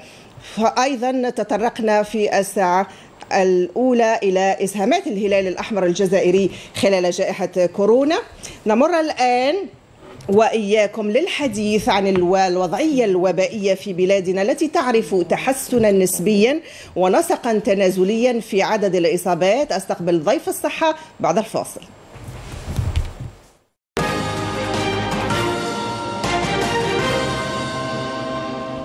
أرحب وإياكم مشاهدينا الكرام بالدكتورة فريدة إيمس عودان أخصائية في الأمراض المعدية. دكتورة إيمس عودان صباح الخير. صباح النور وشكرك على الاستضافة. نعم نحن من نشكرك على قبولك دعوة المشاركة عفو. في البرنامج. دكتورة إيمس عودان كيف تتابعين تناقص عدد الإصابات هذه الأيام؟ هل نحن أمام محاصرة الفيروس وبالتالي ستتحسن الوضعية تدريجياً؟ شكرا. واعطيني فرصه اعطيتني فرصة كي أطرح مع الزملاء الذين يسقطون يوميا في في لو تيغان تاع الكوفيد. ونشكر جزيل الشكر كاع الزملاء اللي راهم في الميدان وكاع يعني التعاون مع الدولي الجمعيات والمجتمع المدني المجتمع المدني نعم. على يعني الصد من هذا لاحظنا عندنا عشرة أيام أو أسبوع أستاذة نعم. آه نقص العدد بنصف كنا 1030 1300 كاع في ظل 10 أيام أسبوع حبطت إلى 565 مم. يعني خاص بالنصف. نعم. وهذا راجع اولا لوعي الناس والدولة خدت بعين الاعتبار وشددت شوية الإجراءات التنقلات عبر المدن وضع الكمام الإجباري التباعد الجسدي غلق بعض المحلات التي فتحت عشوائيا. يعني كاع هذوك الاتخاذات الصارمه للحد. من الانتقال. هذا ساهم في نقص الخ... الذي لاحظناه نقص يعني كبير لاحظناه. ونقص شوية يعني المجيء إلى المستشفيات واكتظاظهم. نقص شوية والحمد لله. هذا رجع للوعي تاع المواطن. نعم. الذي تجاوب مع هذه تجاوب تجاوب تجاوب واعي. parce que في في الموجة الأولى لاحظنا الحجر الصحي هو اللي يعني مدة شهرين أو ثلاث شهور هو اللي قلص وحبس شوية الانتشار. parce que نقولوا باللي فيروس الكورونا ما يمشيش وحده. فيروس الكورونا من ينقله من مكان. إلى مكان هو الإنسان. هو الإنسان نعم. هو البشر. donc لاحظنا في بعض الولايات وين عمرنا ما لاحظنا يعني les cas تاع كورونا فيروس. وعلاش؟ parce que نجاوبوا يعني جواب ذو شطرين. الشطر الأول نقولوا باللي الأماكن زعما البعيدة في الصحراء ولا كاين هناك تضاريس déjà ما تسمحش بان يكون تواصل سريع ولا اكتظاظات. donc نعم. هذا مقارنة بالولايات الأخرى أخرى والناس عندها عادات وتقاليد. مثلا وضع الخمارة والكمامة هذيك العاد الخمار تاعهم. وتانا ما عندهمش والناس يعني يلتزموا بسرعة. كي تقول لهم ديروا وقاية يلتزموا لا بها. لا يتمردون يعني لا يتمردون. المحافظ عكس أصحاب المدن الكبرى في الأول لاحظنا تمردات وكاين أماكن التواصل الاجتماعي كان يقولوا لهم le complotisme وما كاش منها وهذيك دوك الناس وعات شافت باللي surtout عدد ضحايا سقوط ضحايا من العائلات الناس عرفت مت... الآن باللي الكورونا هذا يقتل واقع. واقع وحقيقي. donc تراجعت شوية ورجعت أكثر انضباطا. وربما أكسبتنا يعني التعامل مع هذه مع هذه الأزمة الصحية الاستثنائية الخطيرة. أكسبتنا يعني وعيا متزايدا لدى المواطن. كما أكسبتكم أنتم الأطقم الطبية خبرة في التعامل مع هذا الفيروس. justement أشكرك على هذا السؤال. لاحظنا باللي كل عام هناك فيروسات تأتي. في عدد الكوفيد كان أربعة كوفيد. صح حميدة. تجي دير إنفلونزا خفيف وتذهب. كان دخلنا موسم الإنفلونزا والناس يتلحق الموسمية والناس يتلقح. donc آه الناس تعرف واش حب يقول الفيروس. الفيروس هذا آه عنده آه يعني الخطر تاعو هو أنه ي attaquer ثلاث أربعة وخمسة أجهزة في, في الجسم, الجسم. إحنا الفيروسات العادية ت attaquer surtout les poumons la sphère ORL يعني التنف... الجهاز التنفسي. نعم. وفقط بصح هذا الفيروس يلاتاك ال système nerveux الجهاز العصبي الجهاز الشراييني القلب. كاين نعم. إنسان يجيك بسكتة قلبية سكته قلبية ني ني حمى ني والسبب هو كورونا. السبب هو الكورونا. نعم. c'est pour ça justement كاين كاين كلام كان يتفشي بين الناس ويقول بالك تذهب إلى المستشفى parce que إلا كان صرا لك حاجة يحطوك كورونا. سمعنا بهذه الأشياء. نعم. باسكو الناس ما كانتش تعرف باللي الحالات الكلينيكية اللي تجي من طرف الكورونا هي متعددة ومتشعبة. ما راناش في الإنفلونزا العادي الكلاسيكي فيه حمى زكام. هو يتقا يتشابه شوية فيه. حمى نعم. زكام بصح اغلبيتها إحنا لاحظنا في الميدان يجيك ما عندوش حمى. ذهب غير الشم الذوق والشم أحيانا نعم. وفقط والذوق والشم هي آه يعني إصابة الجهاز آه العصبي. نعم. وهو حد يعني الناس تستغرب بصح حنا على بالنا بلي تقدر ما يعاودش يولي يشم الإنسان هذاك ولا؟ آه لاحظنا حالة comme حالة paralysie شلل. شلل نصفي ولا راجع للكورونا. donc في هاد 8 شهور تعلمنا en live يعني كيما إحنا الناس تاع ال terrain كيما العلماء الكبار كيما الشعب أنا نتعلموا ونتجاوبوا مع هذا الفيروس. وكيما قلتي أستاذة ما ما نقدوش دوكا نعرفوا وقتاش راح تحبس هاد الجائحة. donc لازمنا كاع السبل اللي اللي درناها الحجر الصحي و يعني الطويل ولا المنقطع صح. حد شوية من انتشار هذا الوباء. بصح ما على بالناش متى ينتهي. وبالتالي عندنا حلين. عندنا le vaccin بعد تطرقي له وعندنا حل هو التعايش معه. مع هذا الفيروس لازم لازم تعايشوا معه. parce que علاش ما لازمش نح... ما نقدروش نحبسوا على الدراسة ما نقدروش نحبسوا على العمل. آه الاقتصاد البلاد البلدان كي تشوفي نعم. عالميا الاقتصاد انخفض يعني ما نقدروش نقعدوا دائما في الحجر الصحي. نعم. لازم نتغلبوا عليه باش بال... بالوقاية بالالتزام بوضع القناع الصحي بالتباعد الجسدي. نحدوا من الاجتماعات ولا العراس هذه والجنائز نعم. والاختلاط. آه يعني يعني فكرنا لازم الإنسان الذكي هو الذي يتلائم مع الوضعية الجديدة. طيب. ولازم نبدلوا من عاداتنا باش نعيشوا. لازم. نعم. يعني نحدوا. في انتظار دكتورة اللقاح الذي يمثل بصيص نور في آخر النفق والذي ما زال يعني مثار جدل ولغط كبير لم يوصل فيه لحد الآن. مع وجود اللقاح أيضا هذا لا يعني التخلي عن إلزامية تدابير الوقايه الوقائية وأيضا الحرص على تقوية الجهاز المناعي باستمرار. تفاديا للاصابه بهذا الفيروس شكرا الخطير. على هذا السؤال. الجهاز المناعي هو أول سلاح دفاع عندنا. نعم. الجهاز المناعي تاع كل إنسان. إحنا لاحظنا أشياء مثلا أنا كطبيب آه، أمراض معدية شيء كان عندنا في في الاختصاص ديالي الناس ما يعرفوش. مثلا نفس المرض عند زوج الناس عندهم آه، les deux. عندهم. لا لا عندهم آه، يعني immunité كيف كيف؟ مناعة. مناعة جهاز مناعي كيف كيف؟ بصح المرض عند هذا يأثر فيه بزاف وعند الآخر ما ياثرش, ما يأثرش. هذه ما قدرناش حنا نجاوبوا عليها. نعم. يعني نقول لك في اختصاص. دونك ميم في حالات كورونا الحمد لله نقول يعني بصيص من الأمل باللي 80% آه، من الحالات هي حميدة. نعم. 80 آه، آه، من الحالات الكورونا إجماليا هي حالات حميدة زكام خفيف وكامل. و20 في المئة اللي تجي حالات مرضية. وخمس يعني في هذيك 20% عندك 15% يديروا حالة مستعصية يلزم لها hospitalisation ولا في الدار ولا استطباب يعني نعم. آه sérieux وعندنا 5% فقط اللي يديروا حالات خطيرة, خطيرة تؤدي إلى تؤدي إلى الإنعاش مثلا. والموت 0.5 ب 0.25 يعني ربما هذا تطمين للمواطنين الذين أصيبوا بحالة أنا الهلع. أنا باللي لا لا يعني justement آه لازم الإنسان يتثقف يتوعى. هي غالبيتها هي حالة حميدة. شوفي 69 مليون حالة عالميا ماتوا فيها مليون ونصف. هذه عالميا.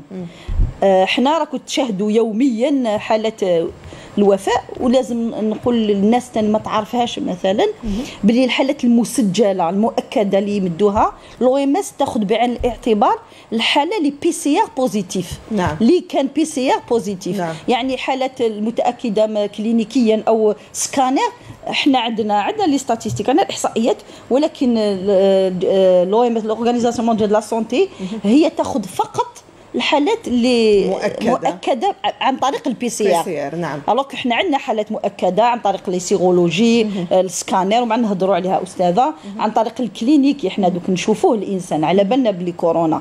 إذا كان وكاين مستشفيات في بعض الحمد لله الجزائر وضعت كاع واش عندها. نعم. بصح عندنا تانا وين ال PCR يكون ناقص آه، les réactifs ناقصين في السوق. ذكر ان الدولة أيضا اتخذت إجراءات لتخفيض أسعار هذه الكواشف والتحاليل.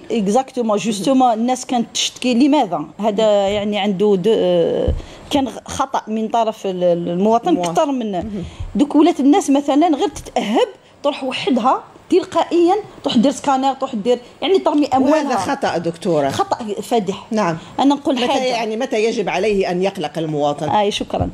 المواطن عندما يشك مثلا باللي كان آه، مع إنسان عنده كورونا positif ولا عنده الحالة هذيك يذهب لأقرب طبيب عنده.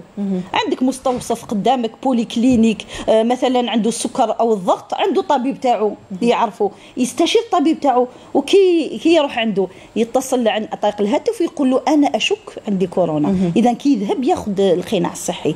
parce que عندنا زملاء كاع اللي اللي مرضوا كورونا وتوفاو في في les cabinets parce que كانوا يجوهم آه، المرضى ما يقولوش باللي عندهم كورونا. نعم. هذا تنا لازم المجتمع المدني لازم تفيق باللي ماشي عيب ماشي حرام. كي تروح عند الطبيب باش يعاونك إذا أنت لازم تاخذ آه، احتراس تاعك وتلبس آه، القناع الصحي.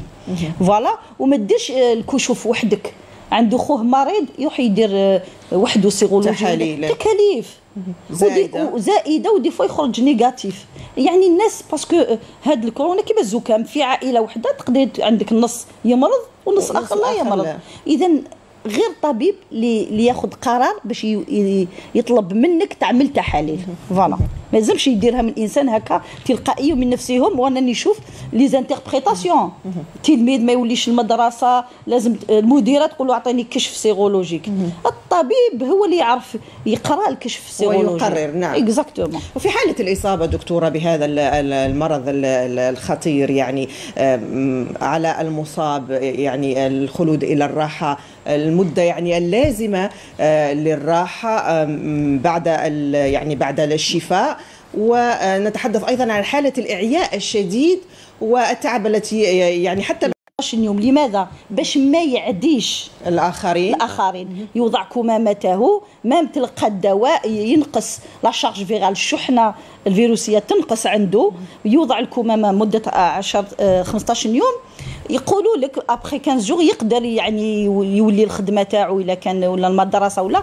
بصح أنا أقول باللي الإنسان هذيك 15 يوم تاع تاع confinement باش ما يعديش برك. بصح باش الإنسان يسترح هذا المرض يخلف آه، بزاف شفنا باللي العياء. العياء شديد. اجهاد يعني عياء وكاين اللي مازال ما استرجعش التنفس تاعو كان عنده ضيق تنفس لا donc لازم له la convalescence راحة أكثر من هذا شحال دكتورة؟ شحال يعني؟ آه تقدر تروح شهر شهرين. كيما كيما les virus les virus هكذا parce que يتعب يتعب الكبد. آه يتعب الإنسان. donc تروح له شوية الشهية. donc ما يقدرش يولي بسرعة كما كان. هذا نعم. ظاهر. هل استئناف عودته إلى حياته الطبيعية والعملية المهنية هل تستدعي إعادة هذه التحاليل مجددا للتأكد؟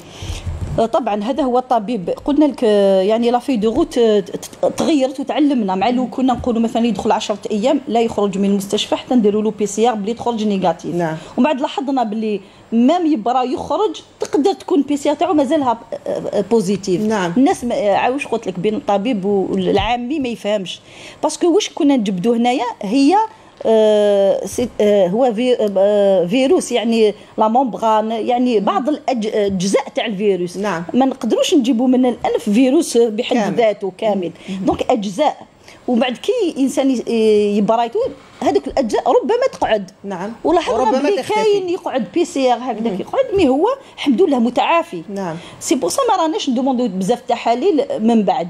كيما التحاليل تاع الدم ابدا. ولا سكانير ما ندومونديوهاش في أول وهلة. أنا يجيني مريض يقول لي طبيبة مانيش مليح نروح ندير سك... ما تروحش دير سكانير. أنا نقول لك لا وقتاش بديت تمرض. نحنا نحسبوا لازم 10 8 أيام ولا 10 أيام باش ندومونديو تحاليل. باش تقدر تخرج آه، إيجابية. نعم. كاين ناس مثلا آه، اليوم خوه مرض يدير هو التحاليل تخرج كاع négatives. وهو راه بدا يمرض هو على بالوش؟ الفيروس لكن طبعا. لا يعلم بدون لا إعراض. إيه، نعم. بدون إعراض يقول لك ها عندي تحاليل وأني مليح. لا لا. الطبيب اللي يعرف. parce que. التحاليل لازم لها المدة. نعم. باش تظهر في الدم باش تظهر في السكانير وباش تظهر في ال PC طيب دكتورة آه، ما معدل يعني معدل عودة الإصابة ظهور الإصابة بعد الشفاء آه، من الفيروس متوقف على ماذا؟ آه، كما قلت لك تعلمنا إحنا عن بالنا في, في, في أنا في الموجة الثانية. في الموجة الأولى كان عندنا معلومات هكا تقول باللي اللي مرض من آه، الفيروس تاع الكورونا يكون عنده مناعة. والمناعه ما قدرناش ما كناش عارفين شحال. parce que أنا نعيشوا هذا المرض أنا نعم. نتع- نتعلموا معاه وهو حاضر. كاين اللي قعد ثلاث شهور ربع شهور. ودوك من بعد لاحظنا بلي عندنا إحنا مرضى في المستشفى براو بال PCR positive خلاص عاودوا مرضوا نعم. و PCR positive ونفس الأعراض ونفس. donc ما يمدش حماية طويلة. d'ailleurs même les vaccins هذا هو ال but تاع ال vaccin يعني ما يعطيكش حماية ما نعرفوهاش شحال الحماية هذيك تقعد.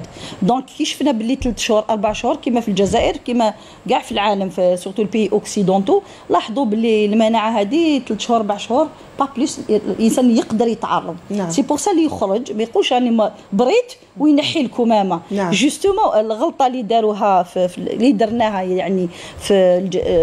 في الفترة الموجه في الموجة الأولى الناس في الصيف واش دارت؟ كاين اللي مرضوا كاين قال لك أنا مرضت خلاص ما نزيدش نعاود نمرض نحاو الكمامة بالعكس، راحوا نعم. للبحر وكامل. إحنا أط- كأطباء كنا ن...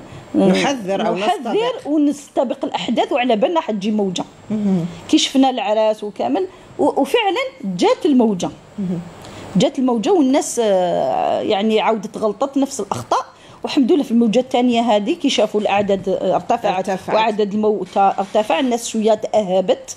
واستجابت ل- لتطلبات يعني الصارمه التي أخذتها الدولة آه، وزارة الصحة والمجتمع المدني. دكتورة أيمن سعودان العالم كله اليوم ينتظر هذا اللقاح لكن هناك يعني قلة ثقة آه، لدى المواطنين في عملية التطوير السريعة ل- لهذا اللقاح في أقل من عام. من هم الأشخاص؟ الذين آه، لا يجب عليهم أخذ اللقاح. وأيضا آه، نتحدث أيضا عن التدابير الوقائية التي يجب أن تستمر في وجود اللقاح أيضا. شوفي أنا أنا كأخصائية أمراض معدية وكطبيبة عادية إحنا نؤمن باللقاح. اللقاح عامة. parce que الناس اللي اللي اللي عاشت السبعينات نهار درنا le PEV le programme national يعني ضد الامراض الحصبه la polio شلل والامراض اللي شفناها ال BCG على نعم. لاحظنا تراجع هذيك الأوبئة. الحمد لله.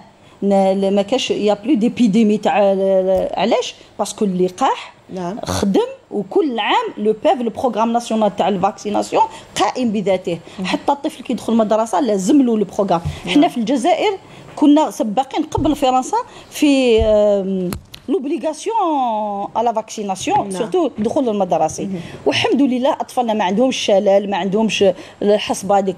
donc ال vaccin مد نتائجه. وهذه ces vaccins اللي نعرفوهم عندنا ست سنين 60 سنة 50 سنة. ولكن هذا ال vaccin جديد. إحنا وصافي باش يكون un produit يكون efficace حنايا نعرفوا بلي اللي قديم نعم. هو اللي efficace علاش؟ parce que نعرفوا نعرفوا واش وتم اختباره واختباره كامل. هذه اجتهد اجتهد العالم كامل باش يحدوا والحمد لله كاين أموال باهظة وعلماء كبار خدموا كاين أربعة دوكا لقاحات عندنا on a le choix كما قال الآخر. وكل واحد دوكا آه كان تضارب c'est شكون اللي مليح ال vaccin تاعو. رانا نشوفوا وشنو الإنسان ما لازمش يسمع بزاف آه التواصل الاجتماعي. نعم مواقع آه parce que مواقع التواصل الاجتماعي نقولها toujours هي ليست مرجع علمي. نعم.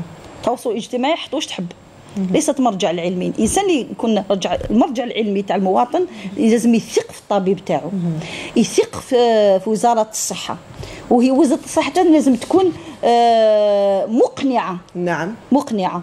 آه ومن خلال خطاب واضح من خلال خطاب واضح نعم. من خلال تدابير واضحة تشترك فيها المواطن آه بلاطوهات تشرح باش المواطن الجزائري نعاود نرجعوا هذيك الثقة اللي بيننا وبينه نعم. هذه هي. واللقاح إذا كان يعني ناجع. دوك نستناو البلدان الأخرى واش يتمد كل وحدة راه يتمد إحصائيات تاعها. وإن شاء الله الجزائري تاخذ القرار المليح باش تختار لنا اللقاح اللي ينفع إن شاء الله وقلت نعم. استاذه ما هما الناس اللي ما نلقحوهمش نعم. هما نلقحوا للناس الضعفاء اللي مرض نعم. أمراض مزمنة نعم. آه مزمنة stabilisées نعم. يعني اللي اللي عنده سكر تاعو stable la tension تاعو stable نعم. لازم يدير لقاح أي لقاح يعني يا لو كان انفلونزا الموسمية بصح كاين أمراض وراثية هكا ما يتقبلوش أي لقاح نعم. إذا même هذوما وأصحاب الحساسية وأصحاب نعم الحساسية exactement نعم شكرا جزيلا لك يا دكتورة عفوا. فريدة ايما سعودان أخصائية في الأمراض المعدية على الحضور القيم وعلى هذه الاستفاضة الكريمة شكرا جزيلا. شكرا جزيلا معك. شكرا لك. مشاهدينا الكرام أربة الاتصال الآن مع زميلة باية بالخير المتواجدة بالمعهد الوطني للدراسات الاستراتيجية. باية صباح الخير.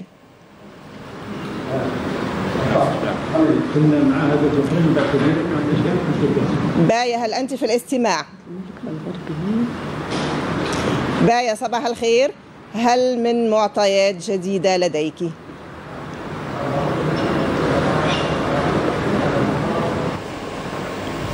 نعاود الاتصال مع الزميلة باية بالخير وتفاصيل أوفى لاحقا. نتابع الآن هذا الروبورتاج حول الخدمات التي يقدمها أفراد الجيش الوطني الشعبي للمواطنين في مناطق الظل. الحملة شملت العديد من المناطق المعزولة بإقليم ولايات غليزان تيارت وتسمسلت حيث استفاد سكان هذه المناطق النائية من خدمات صحية نوعية وفحوصات طبية معمقة. قدمت لهم من طرف أطقم طبية مؤهلة متكونة من أطباء وممرضين تابعين للمصالح الجهوية للصحة العسكرية بالناحية العسكرية الثانية. مزودين بكافة الوسائل المادية والطبية اللازمة وبالموازاة مع الخدمات الطبية النوعية المقدمة والمتمثلة أساسا في التلقيحات ضد الأنفلونزا الموسمية والكشوفات السريعة عن كوفيد 19 بارك الله في الجيش الوطني الشعبي بالمبادرة هذه اللي بدرها. وجاونا للدوار نتاعنا وراهم قاموا بنا إطارات طبية وشبه طبية تابعة لمصالح الصحة العسكرية بالناحية العسكرية الخامسة أشرفت بدورها على فحوصات لفائدة سكان منطقة سيا بلدية ششار وإجراء حملة تلقيح ضد الإنفلونزا الموسمية. بالإضافة للكشف عن فيروس كورونا كوفيد 19 باستعمال الكشف السريع. قامت المديرية الجهوية لمصالح الصحة العسكرية الناحية العسكرية الخامسة بتنظيم قافلة صحية مكونة من طبيين وممرضين للقيام بتلقيح المواطنين المناطق النائية. سكان هذه المناطق النائية استحسنوا الالتفات الطيب للقيادة العليا للجيش الوطني الشعبي التي تحرص دوما على مد يد العون والوقوف إلى جانب سكان المناطق النائية. أهلا بكم مجددا مشاهدينا الكرام لنعاود الاتصال بالزميلة بايا بالخير المتواجدة بالمعهد الوطني للدراسات الاستراتيجية. بايا صباح الخير. باية صباح الخير. صباح الخير. ضعينا في آخر المعطيات المعطيات المتوفرة لديك حول الحدث هناك. فعلا انطلقت أشغال اليوم الدراسي حول التطورات الأخيرة والتوترات التي تشهدها منطقة الصحراء الغربية بين الدوافع والتداعيات. وفي الحين يقوم خبراء ومختصين في الشأن الصحراوي بمداخلات عدة ومن بينهم بجانب السيد عبد الملك بالغربي دكتور أكاديمي ودكتور في العلوم السياسية السياسية والعلاقات الدولية ولديه أيضا مداخلة في هذا الشأن سيدي هل بإمكانكم إفادتنا بفحوى اللقاء وماذا تنتظرون منه؟ بسم الله الرحمن الرحيم اليوم نحن هنا في معهد الدراسات الاستراتيجية الشاملة لنعالج واحد من المواضيع المهمة ألا وهو التطورات الحاصلة في منطقة الصحراء الغربية الدوافع والتداعيات. علما نحن اليوم لا نعيش لوحدنا في هذا العالم. نحن في بيئة دولية هناك مجموعة من التحولات بدءا بالتغير المرتقب على مستوى الإدارة الأمريكية. والقرارات خاصة القرارات الأخيرة المتهورة للرئيس الأمريكي دونالد ترامب نفس الشيء الهرولة إلى تطبيع السياسات التي تنتهجها بعض الدول العربية في في يعني في في في مؤامرة أو ان صح التعبير هي خيانة للقضايا العربية. يسعى المغرب إلى إلى إلى محاولة كسب بعض النقاط من خلال الاستمرار في سياساته الاستعمارية الجديدة من خلال جر بعض الدول إلى فتح بعض القنصليات في الأراضي الصحراوية المحتلة وهذا شيء مخالف للقانون الدولي والشرعيه الدولية. كذلك فتح بعض المعابر غير القانونية كما يحدث في التوتر الحاصل في معبر الكركرات. ولهذا يعني كل هذه النقاط سنحاول أن نعالجها مع بعضنا البعض اليوم في هذا الفضاء الأكاديمي. شكرا سيد عبد المالك غربي. وسنوافيكم بمستجدات اللقاء في نشراتنا الإخبارية اللاحقة.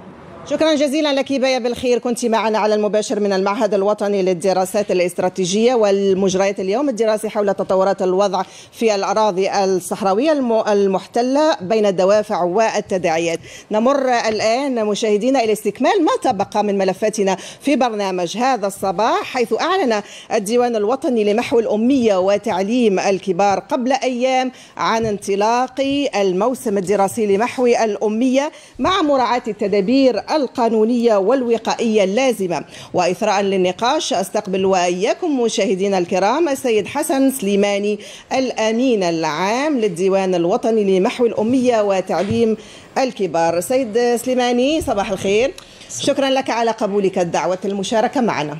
صباح الخير. شكرا على الاستضافة. الزلف الأول مرحبا بك.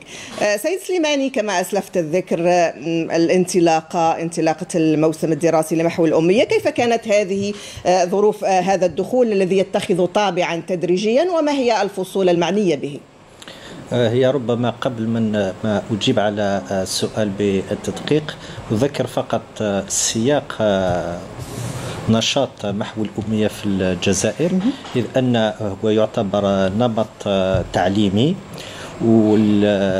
وأسست الدولة الديوان الوطني لمحو الأمية وتعليم الكبار لكي يشرف عليه وهذه المؤسسة العمومية وضعت تحت وصاية السيد وزير التربية شخصيا. والنصوص أو النص القانوني الذي يؤثر نشاط محو الأمية آه، هو آه، القانون 0804 نعم. المتضمن القانون التنظيمي للمدرسه أو المنظومة التربية الوطنية. على هذا أن المقاربة في مجال محو الأمية هي نفسها مقاربة التعليم النظامي نعم. فالنشاط محو الأمية آه، توقف في شهر مارس على غرار بقية أنماط بسبب الجائحة نعم. بسبب آه، الجائحة والرجوع إلى آه، مقاعد الدراسة. انتهجه الديوان الوطني لمحو الأمية جوهريا بنفس المقاربة مع التعليم النظامي بحيث أن السيد وزير التربية الوطنية في بمناسبة يوم المعلم كان أكد أن وزارة التربية الوطنية اتخذت مقاربة هي أنها تضمن من جهة حق التلاميذ في التعليم ومن جهة أخرى صحة المواطنين. طيب ما هي الشروط التي يعني التزمتم بها ويعني آه، آه، على أساسها آه، يعني رجعتم تدريجيا إلى مقاعد الدراسة؟ هي أكيد الشيء اللي لازم نعرفوه هو أن محو الأمية ليس فقط عرض وإنما هناك طلب طلب من آه، جانب شكراء آه، شركاء شركاء, نعم. شركاء عفوا من الدوائر الوزارية المختلفة وأيضا المجتمع المدني فكان هناك من بين الشركاء مثلا المراكز إعادة التربية نعم. وسكنات مراكز الخدمة الوطنية نعم. اللي كانت هي تتوفر على الشروط آه، الوقائية لاستقبال فصول محو الأمية ولكن مع وقوف هذه النشاط كانت تنتظر منا الرجوع نعم. الرسمي فلما تم الإعلان على الرجوع. التدريجي البداية كانت من هذه الفصول نعم. المؤطرة. التي تقام في هياكل تتوفر في الشروط الصحية الوقائية ماذا عن الأفواج مثلا؟ هل تم تقليص العدد؟ أكيد هي عادة أفواج فصول محو الأمية فيها من 15 إلى 20 آه، متمدرس. مع هذه الحالة الاستثنائية تم تقليص هذا العدد إلى 10 آه، أفراد في كل فوج. مع طبعا التأكيد على آه، الاحترام وتطبيق الصارم لبروتوكول صحي خاص بهذه آه، الفئة من المتعلمين. آه، سيد سليماني يعني بالنسبة حتى للتنظيم التربوي هل هناك يعني دروس استدراكية؟ حتى حتى نتمكن من معالجة ما تم تأخر عنه بسبب الجائحة. أكيد أنه قبل آه، مواصلة المقرر الدراسي سوف تكون فترة مخصصة للاستدراك للتقييم وللمراجعة. قصد معالجة ما ذكرته من آثار للتوقف الطويل حسب التقديرات الأخيرة يعني طيب نظرا لضيق الوقت آه، آه، سيد سليماني آه، نذكر ان نسبه المتمدرسين أو الراغبين في محو الاميه أكثر بالنسبة للنساء أو للرجال؟ هي نسبه المتمدرسه 88% نعم. بالنسبة للنساء دونك هي الاغلبيه شكرا جزيلا لك سيد حسن سليماني الأمين العام للديوان الوطني محو الاميه وتعليم الكبار على الحضور الكريم وعلى هذه الاستفاضة. شكرا. مشاهدينا الكرام ندعوكم الآن إلى متابعة هذا البورتري لأحد المواطنين المولعين بجمع العلم الوطني قد يظن الزائر لمدينة العبادلة بولاية بشار أن هذا العلم الوطني مرفوع على بناية رسمية ولكن بعد لحظات سيكتشف أن الأمر يتعلق بمسكن المواطن محمد فاسي. هذه بدأت من 82 كاين اللي يشوف الإعلام يقول هذه بلدية. وكاين اللي يقول هذه دائرة هنا. ثم اللي ما عرفش البلاد. بصح الناس اللي يعرفوني بعرفوها باللي الدار نتاعي دايما الإعلام بيرماناس فوقها.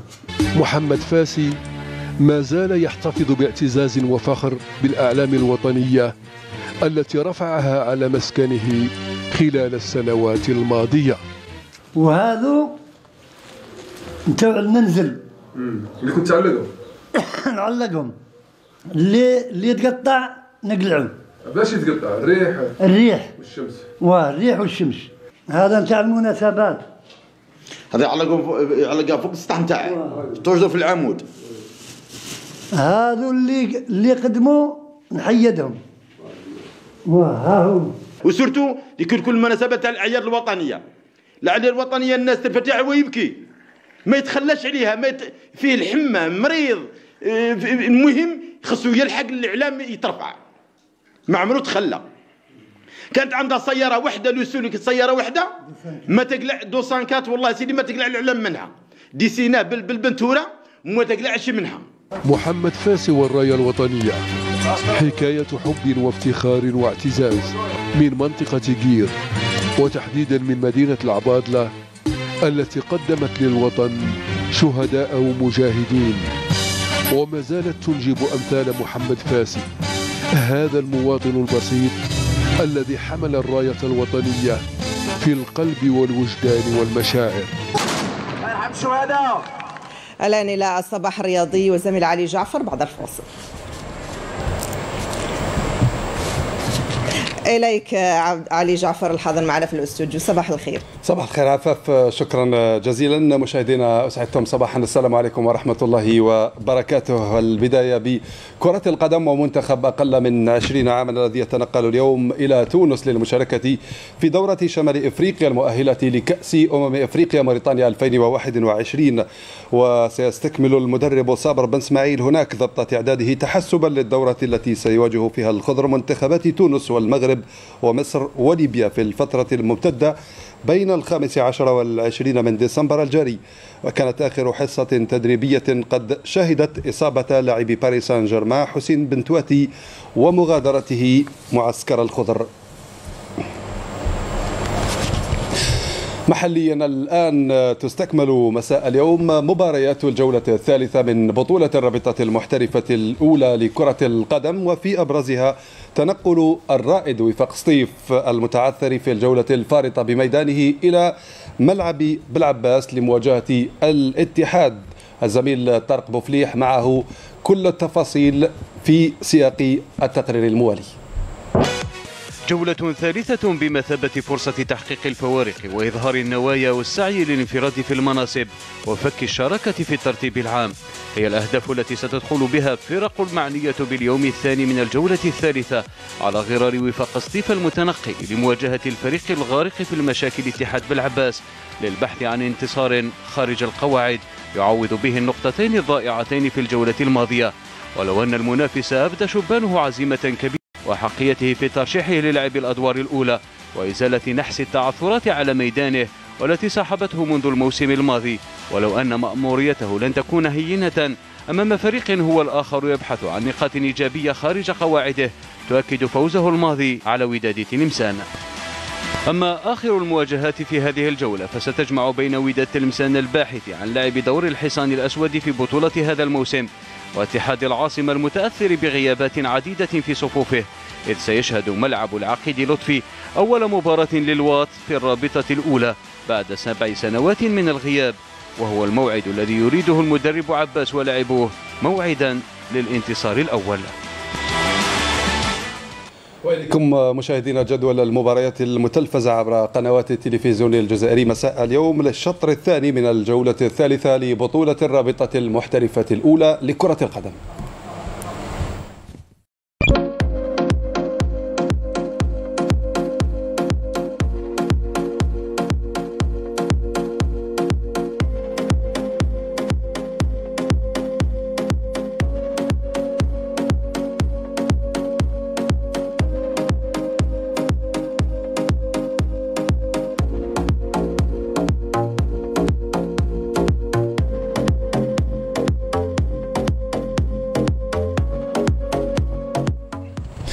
وفي قمة الجولة الثالثة دشن البطل شباب بلوزداد مسيرة الدفاع عن لقبه بفوز عريض بتيزي وزو على شبيبة القبائل بثلاثية نظيفة. ونتابع أبرز مجريات المباراة بتعليق الزميل عبد العزيز بن سالم. بعد بدايتين متعثرتين وهذه كرة في العمق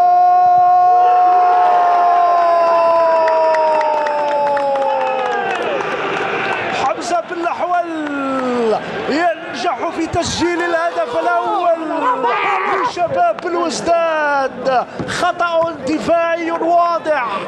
وحمزة بن الأحول القناص المبدع بتمريرة أيضا فيها من الإبداع من سعيود. وبن الأحول للموسم الثاني على التوالي ينجح في تسجيل في التسجيل على شبيبة القبائل.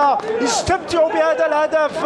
ولكن هناك خطأ دفاعي واضح. والقناص الهداف هذا الذي تشاهدون باللحول التمريرة لم تكن هناك وضعية تسلل ولكن باللحول استغل خطأ في رأيي هو أكثر تنظيما وأكثر خطورة. وهذه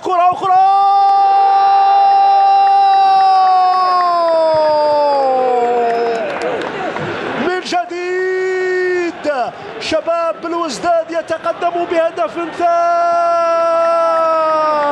يا للروعة ويا للإبداع. ينجح في إضافة الهدف. هذه تماما. هذه لقطة التي تقدم فيها الحارس بن بوط وحولها كلاهما لعب في اتحاد ملعب في مباراة أخرى مشاهدينا أكدت جمعية عين مليلة بدايتها الموفقة عندما فرضت التعادل على نصر حسين داي المستضيف بملعب 20 أوت بالعاصمة في مباراة شهدت ندية كبيرة وفرصا كثيرة طيلة دقائقها 90 المباراة كانت بتعليق الزميل بلال بناري. ثلاثي تحكيم المباراة يقود بنجان عمري بن علي بالحكم الرابع وابو ستة محمود محمد هو محافظ هذه المباراة. قبل اللحظة أعطى بنجان إشارة انطلاقة المباراة التي جاء أمام من في استقبالها. فوزية يا عودة الدفاع. دفاع فريق جمعية عين مليلة وقع في المحظور. يا سلام حارس المرمى أنقذ الموقف. تعود له بن يطلبها مفتاح. هل ستصله؟ بن باي راح مفتاح توغل مفتاح وزعها يا سلام سقط على أرضية الميدان. ركلة جزاء. ركلة جزاء لبن عياد. ركلة جزاء لبن عياد في الدقيقة تقريبا العاشرة من بداية المباراة. زايد بطاقة صفراء يمنحها الحكم. بنجان كنا نقول بأن المباراة تنذر بأنها ممتازة بين الفريقين. يلعب الكرات في العمق. ويحاول أنه يستفز دفاع فريق جمعية عين مليلة الذي وقع في المحظور عن طريق بوحكاك خالد وربيع مفتاح يريد أن يسقط بولطيف. والهدف الأول هدف أول لمصلحة النصرية. وردها تابع اتجاه الكرة ولكنه عاجز عن صدها وردها. السابق هاي جميلة هاي صعبة هاي ممتازة هاي كرة هدف ثاني. يا سلام على العارضة الأفقية أحسن ما فعل أمير أحسن توغل أمير راح أمير زاد أمير. وزعها من يصل عليها دمان. يا, يا سلام. مرت هذه الكرة. العودة للحارس بولطيف. بولطيف يدخل الكرة إلى الوسط. عكون عكون ضاعت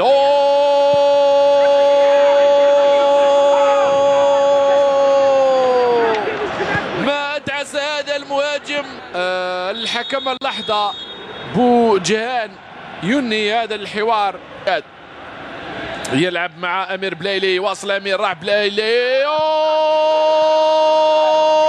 وداية تسلل واضحة. النصرية شعرت بالخطر ونقلت الخطر من هناك على الجهة اليمنى. التوغل كرة الهدف الثاني. بولطيف يا بولطيف. بولطيف يا بولطيف ضيعها المدافع أمام المهاجم وارتكب الخطأ. ضيع المهاجم ووقع في المحظور. وقع في المحظور أمام اللاعب البديل من جانب فريق جمعية جمعية عين مليلة.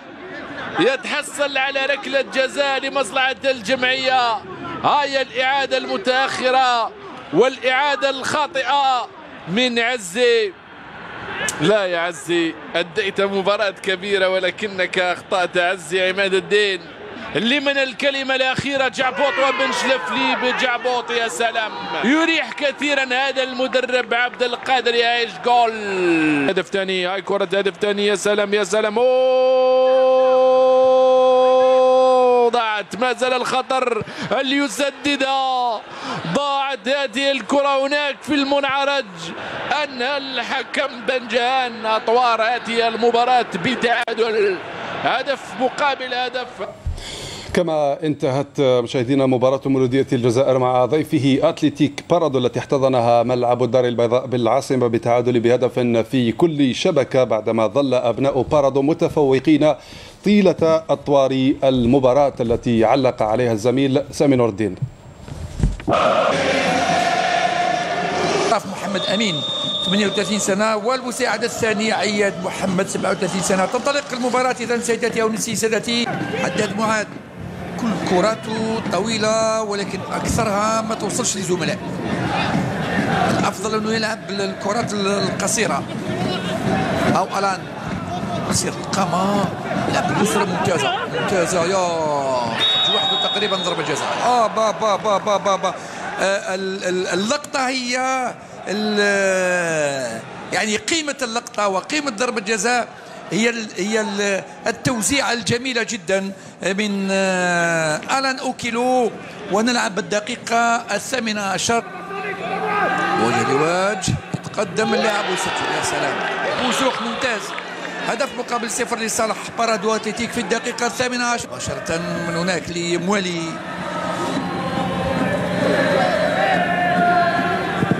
ما خرجش الكرة بن عجيه ما يلحقش عليها التصويبة وإلى الركنية بعد ما لمست احد اللاعبين. ارتماد احد اللاعبين هو اللي ما خلاش تصويبه توفيق عدادي على الصورة. هاو علاطي. حاول الدخول بالمراوغة الأولى ثم الثانية. من حسن حظه الكرة رجعت لتوفيق عدادي مرة أخرى توفيق. عدادي وصل عليه بن ساحه يرفع راسه يراوغ باليسرى ربما هاي كره هاي كره بالقدم اليسرى. جانبية.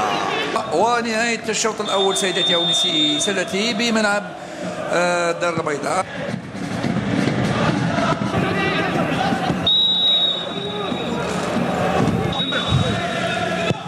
وقرا جانبية. الكل بقى يتفرج وكرته جانبية. مهدي بن عالجية. راح يحاول المراوغه الأولى ثم الثانية. بابا بابا العارضه أوه! ضيع هدف التعادل. السيري بوردي. ممتازة ممتازة ورائعة جدا أيضا من الحق ونبيل عماره دائرية حشود. مرة أخرى تصويبه ربما ارضيه والهدف.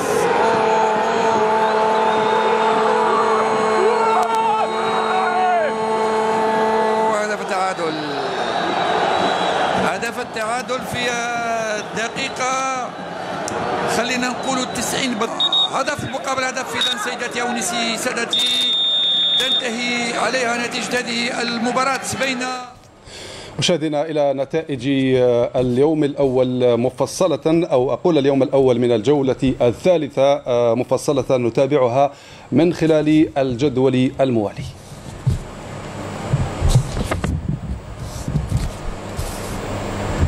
إذا نتابع مشاهدينا نتائج الجولة الثالثة في شطرها الأول في المباريات الستة التي لعبت مساء أمس في الجدول الموالي. نعم. إذا بهذا نختم أخبارنا الرياضية. سنعود إليكم بأكثر تفصيل وبالنتائج وكذلك بالانطباعات والأرقام في مواعيدنا الرياضية المقبلة. نشكركم على المتابعة ونعود إلى زميلة عفاف. وصباح الخير. شكرا جزيلا لك علي جعفر على هذه الإطلالة الرياضية. وبذا مشاهدينا الكرام وصلنا نحن بدورنا إلى ختام برنامج هذا الصباح. شكرا لكم على طيب المتابعة كرم الوفاء ونهاية أسبوع موفقة للجميع.